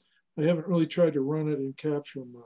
So, but we are seeing inexpensive Celerons, 16 gig of memory, 11th generation Celerons, uh, 512 gig SSDs for like 320 $330. Absolutely. Goodness, that would, if you're going to buy Pi 400s, well, how many of those are you buying before it's cheaper to go the other route? Yep. And especially yep. if you're using a, an approach like Lowell is using with six, six cameras representing an all sky view, but with RMS uh, four millimeter lens sensitivities. Uh, and, and have that on a single Linux box, that's got to be less problems to maintain than five or six Raspberry Pis. So I, I, I really agree. think it's appropriate to move in that direction. Yeah, and yeah. they are much more stable than the, the Pis. Uh, there have been some cameras that are running on a Linux PC for years now without a single hitch. Um, it's just getting the, the instructions to a state where it's literally just download a file or run it and everything is done. That's something that needs needs a bit more work. And um, I would, you know, love if we could maybe assemble a team that can make that final final product. But from what I can support, I'm just gonna guarantee the Pi. I cannot um, uh, commit to, to to much more uh, in in my workload. Um, but getting a team together would be is would be a great idea. Okay. Yeah, I think if, if I explain to Peter how to do it and Peter writes down what he did, then the, the shortcuts I might take, I don't even remember doing, but Peter will remember doing it because he's done it for the first time. Well, exactly. You need somebody who doesn't know what they're doing to write your documentation because that way you get it from a very simple level and you know the idiot's guide to how to run four Pis off my linux box. That's or, or four uh, cameras i'm sorry off my linux box. That's that's what we need. And there there are people that are already doing that uh, and that's great. Like i say edge scripts are, are wonderful but i'm just you know stopping short of of the uh, plug and play kind of install. And David, I'll be happy to work with you. Awesome. Uh, I'll put you guys in touch. I hope you got the email. Uh, if not, let me know. Um, I would just very shortly like to go through the list that of Derek's questions. I just want to specifically address to just make sure that we don't just leave it as some sort of a high level discussion. Uh, so he, he asked a question, designing a GMN network for Victoria. Likely we will see an increase um, in GMN in Victoria. How do you go about designing the GMN coverage? Or for the matter, uh, Australia. We have cameras in the east and west, but not much in between, although the DFN network filled, fills the gaps. So uh, just some base uh, numbers to remember. And I already mentioned them before, but I want to all bit to kind of together uh, in this short discussion is the distance should be between 50 and about 300 kilometers between stations. Um, much shorter than that, and there's a pro problem of uh, the, the, the angle between the meteor and th so the, the triangle that forms one station, the meteor, and the, the other station, that angle between the, the, the, the you know, the, the meteor is at the top of, uh, is called the convergence angle. And you can imagine if the cameras are very close together, almost, you know, at the same spot, you can't really tell where the meteor is in 3D space. You can just tell it's along this one plane, right? So what you really need is to observe the meteor from two different locations that are separate enough to be able to to realize where that line of the meteor is in 3D space. Uh, and we found operationally that about 50 kilometers is the minimum. Anything shorter than that, and there are going to be issues. Uh, and much further away than 300 kilometers, then you're starting to get issues uh, of just simply, you know, you can't point low enough to, to sample meteor heights, which is a, a height of 100 kilometers, uh, because you just kind of Earth's curvature, curvature gets in the way. And also, if you're pointing really low, there's going to be a lot of atmospheric extinction wherein the sensitivity is going to drop. So these are the magic numbers. Now, in terms of you know, the, the actual configuration, um, you can, you know, as, as long as you have the locations, you can point the cameras in different way to optimize the, the, the coverage. And that's what Gene's talk was all about. Um, Derek, you have a question. So, um, so responding to that, so Victoria, across, you know, we're talking about thousands of kilometres. So, mm-hmm. um, so, so it's not hard to get in the 50 kilometres. So, so really, we probably should be looking at a network that's got a, a line of cameras 300 kilometers apart to the north and 300 kilometers apart to the to the to the south and just have them all overlapping. Is that or is, is that too prescriptive? Do you you know do you you best to find good operators first? Yeah um yeah i mean you can have a different configuration. So for example in victoria you can have a cluster of cameras in one location and then a cluster in a separate location. They don't necessarily have to be touching um, for example uh, in North America, there's a cluster of stations here in southwestern Ontario, and then two separate clusters in uh, southwestern US. Um, and it, it's really, uh, as I said before, the growth should be more organic instead of planned, um, because I, we find it very kind of hard to force cameras on people. So just getting people on board is the hard, hardest part. Once you, you, you get over that boundary, that's the problem is solved. Um, and the second uh, question that we didn't address yet is uh, other camera networks and how we interact and collaborate. And that's a very important point. Uh, there was a picture in the BA Winchcombe YouTube video where all different camera networks are shown on one roof. And I, I believe that's actually Jim's roof. Uh, is, is Jim still here? Yeah, he is.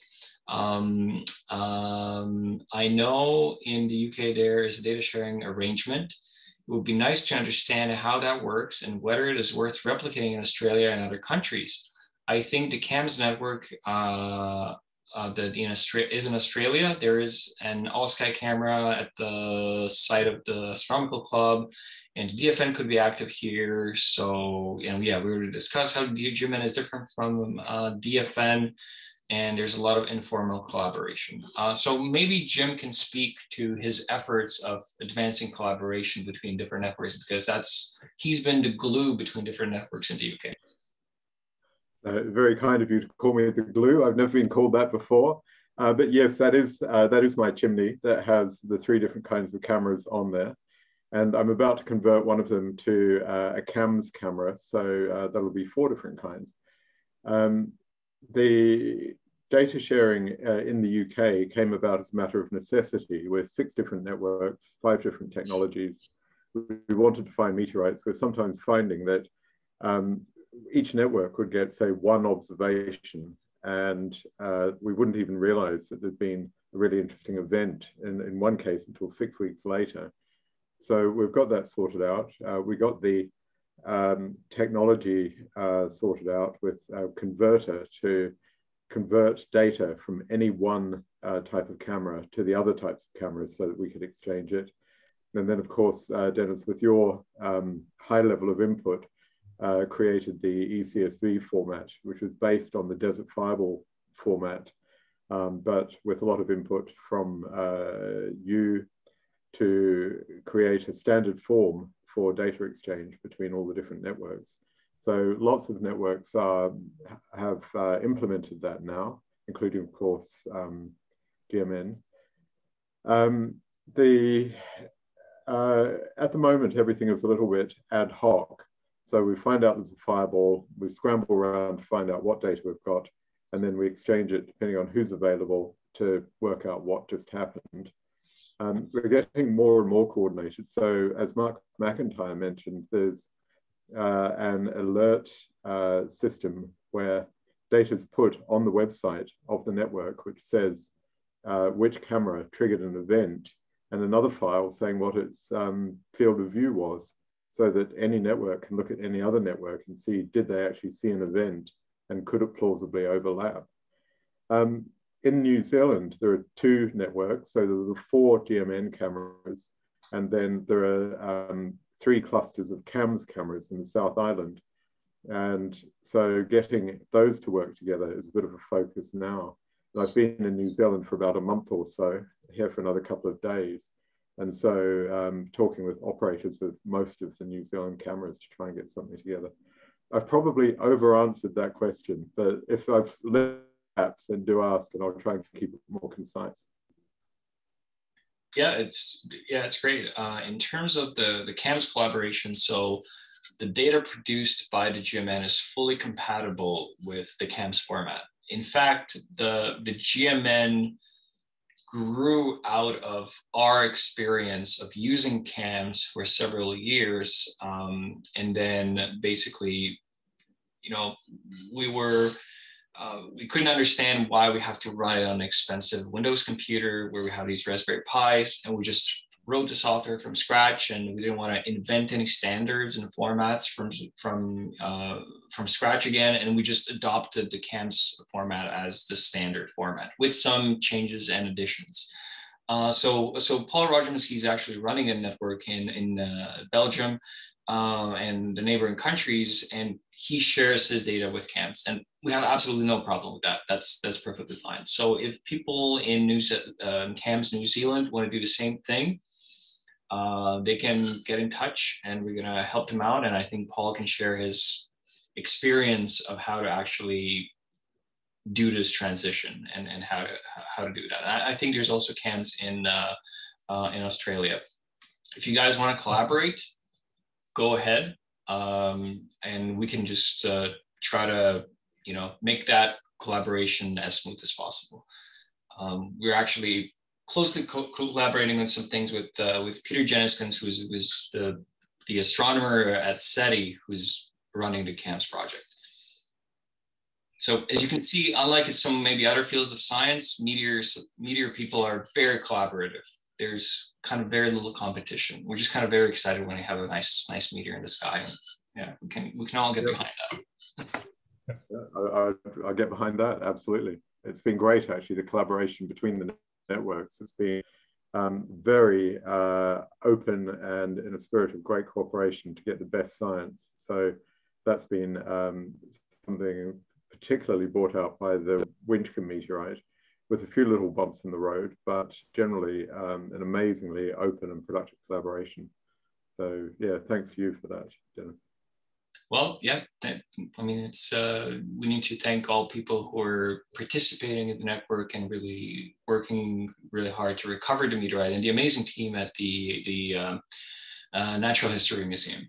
And I believe that there are other scientific teams around the globe who are probably working on meteorites and would really love to get a chance to actually work on a fresh fall because there are always scientists or students who can really benefit from um, uh, from from that collaboration. Uh, so, David, you have a you have a comment. Go ahead.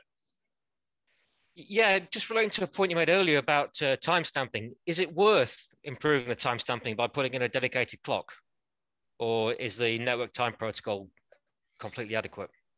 NTP is just fine as long as the internet connection is stable. Um, there, you know, there were many discussions uh, a couple of years ago where people used to run back then expensive GPS devices that made sure that the timing is extremely accurate, blah, blah, blah. And uh, it was actually one paper was part of my PhD where I investigated the timing differences between stations and how that influenced the trajectory quality. And it turns out that even though you have very accurate frame timestamping, uh, you still need to synchronize the time between stations. And the issue is that the frame time is accurate. However, the video frames are not phase synchronized between cameras in, in the network. So you still have to do the time correction that's actually less than the, the, the frame time. So, and we actually found that the time between cameras can be off by a second or two uh, that it is now, uh, just because of the, the way the network protocol works between the camera and, and the Pi. And that actually has almost no influence on the accuracy of the orbit um, because just one second in time translates to 15 arc seconds on the sky, right? And but the the thing is the radiant precision that you get is on the order of let's say several uh, arc minutes. So in a sense, that's it doesn't really matter at all if time is off by, by a second or two. Um, but as long as it's not off by more than that, there shouldn't be any issues. Great. So NTP is quite adequate. No need to put in a GPS clock. Yep. As long as you have a stable internet connection. So one thing that Paul brought up, and I think the previous session, is there are people in uh, certain countries, and there was a guy from Cuba that, that, contacted me recently, and and we talked about getting. A, I said, well, no problem. I'm gonna send you a camera if you're very keen. You know, we can probably you know point it towards Florida, and you're gonna pair up with a camera in Miami, Miami, right? No problem. Uh, but the problem was that he didn't have a stable internet connection. So in Cuba, as far as he said, he has the internet connection for just a few hours during the day and nothing during the night. And that's a big problem for the Pi.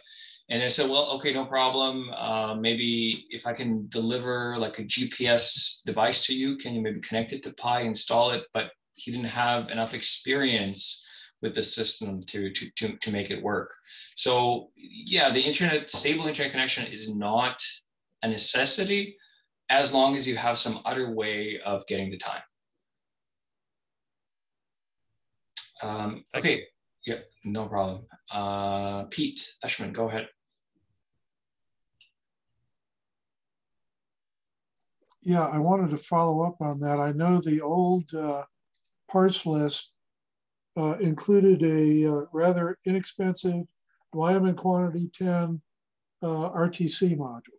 Mm-hmm. So are you no longer recommending that if we have a decent network connection? Because um, there was discussion on GMN, I mean, yesterday and today about this, this very issue. And I, I kind of came away from that discussion very uncertain about uh, what the best recommendation would be. Yeah, um, I hmm, if you can have an RTC running, I would recommend that you have it installed because if something happens with the time on the Pi and reboots and there's no internet, at least time shouldn't be off by more than a few seconds. And it, it should be able to bridge that gap if you have some sort of an outage. Um, but if you really have a stable internet connection and if you have uh, like a UPS for the Pi or whatever, it shouldn't be a problem. Okay. Yeah, it should have good stable time. Um, it, it, really depends on your your your local conditions. Uh, David, you still have your hand up. Do you want to say something? Oh. No, sorry, that was just uh, a mistake. Okay, no problem. Um, okay, um, any other comments, questions, suggestions? Uh, Bill Wallace, go ahead.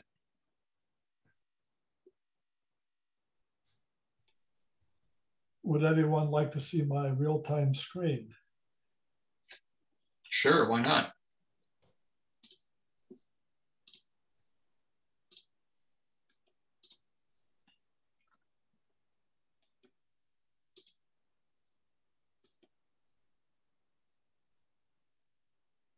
Now, this is running on a Ubuntu Linux box, as I recall. Yes, it's running on the machine I'm talking on.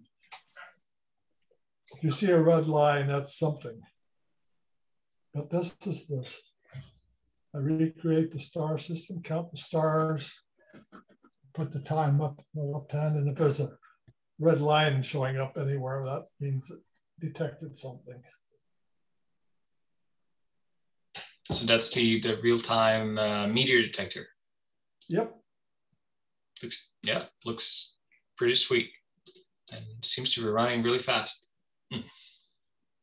So, so you're pulling the data directly from the Pi, or is it running? The software is running on your computer, right? Well, uh, I'm run, I'm doing the session on the machine that runs the camera.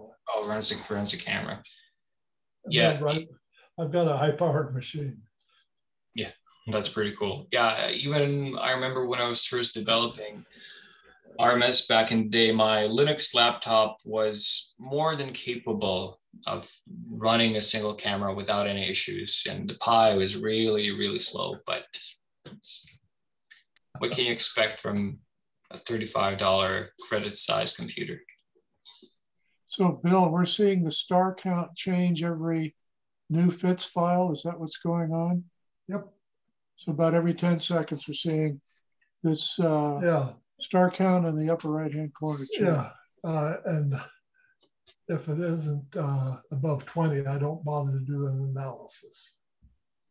Yeah, that's that's the count that we found to work best. Um, so I can probably give you a very sneak preview of what the re- the next upgrades to the code are going to be, um, where we will actually track periods of night that are going that are clear and have enough stars detected on them and not. And that's going to be used for the flux code. So let me just try to find uh, a new graph that i have here. Um, nothing showed up but anyway.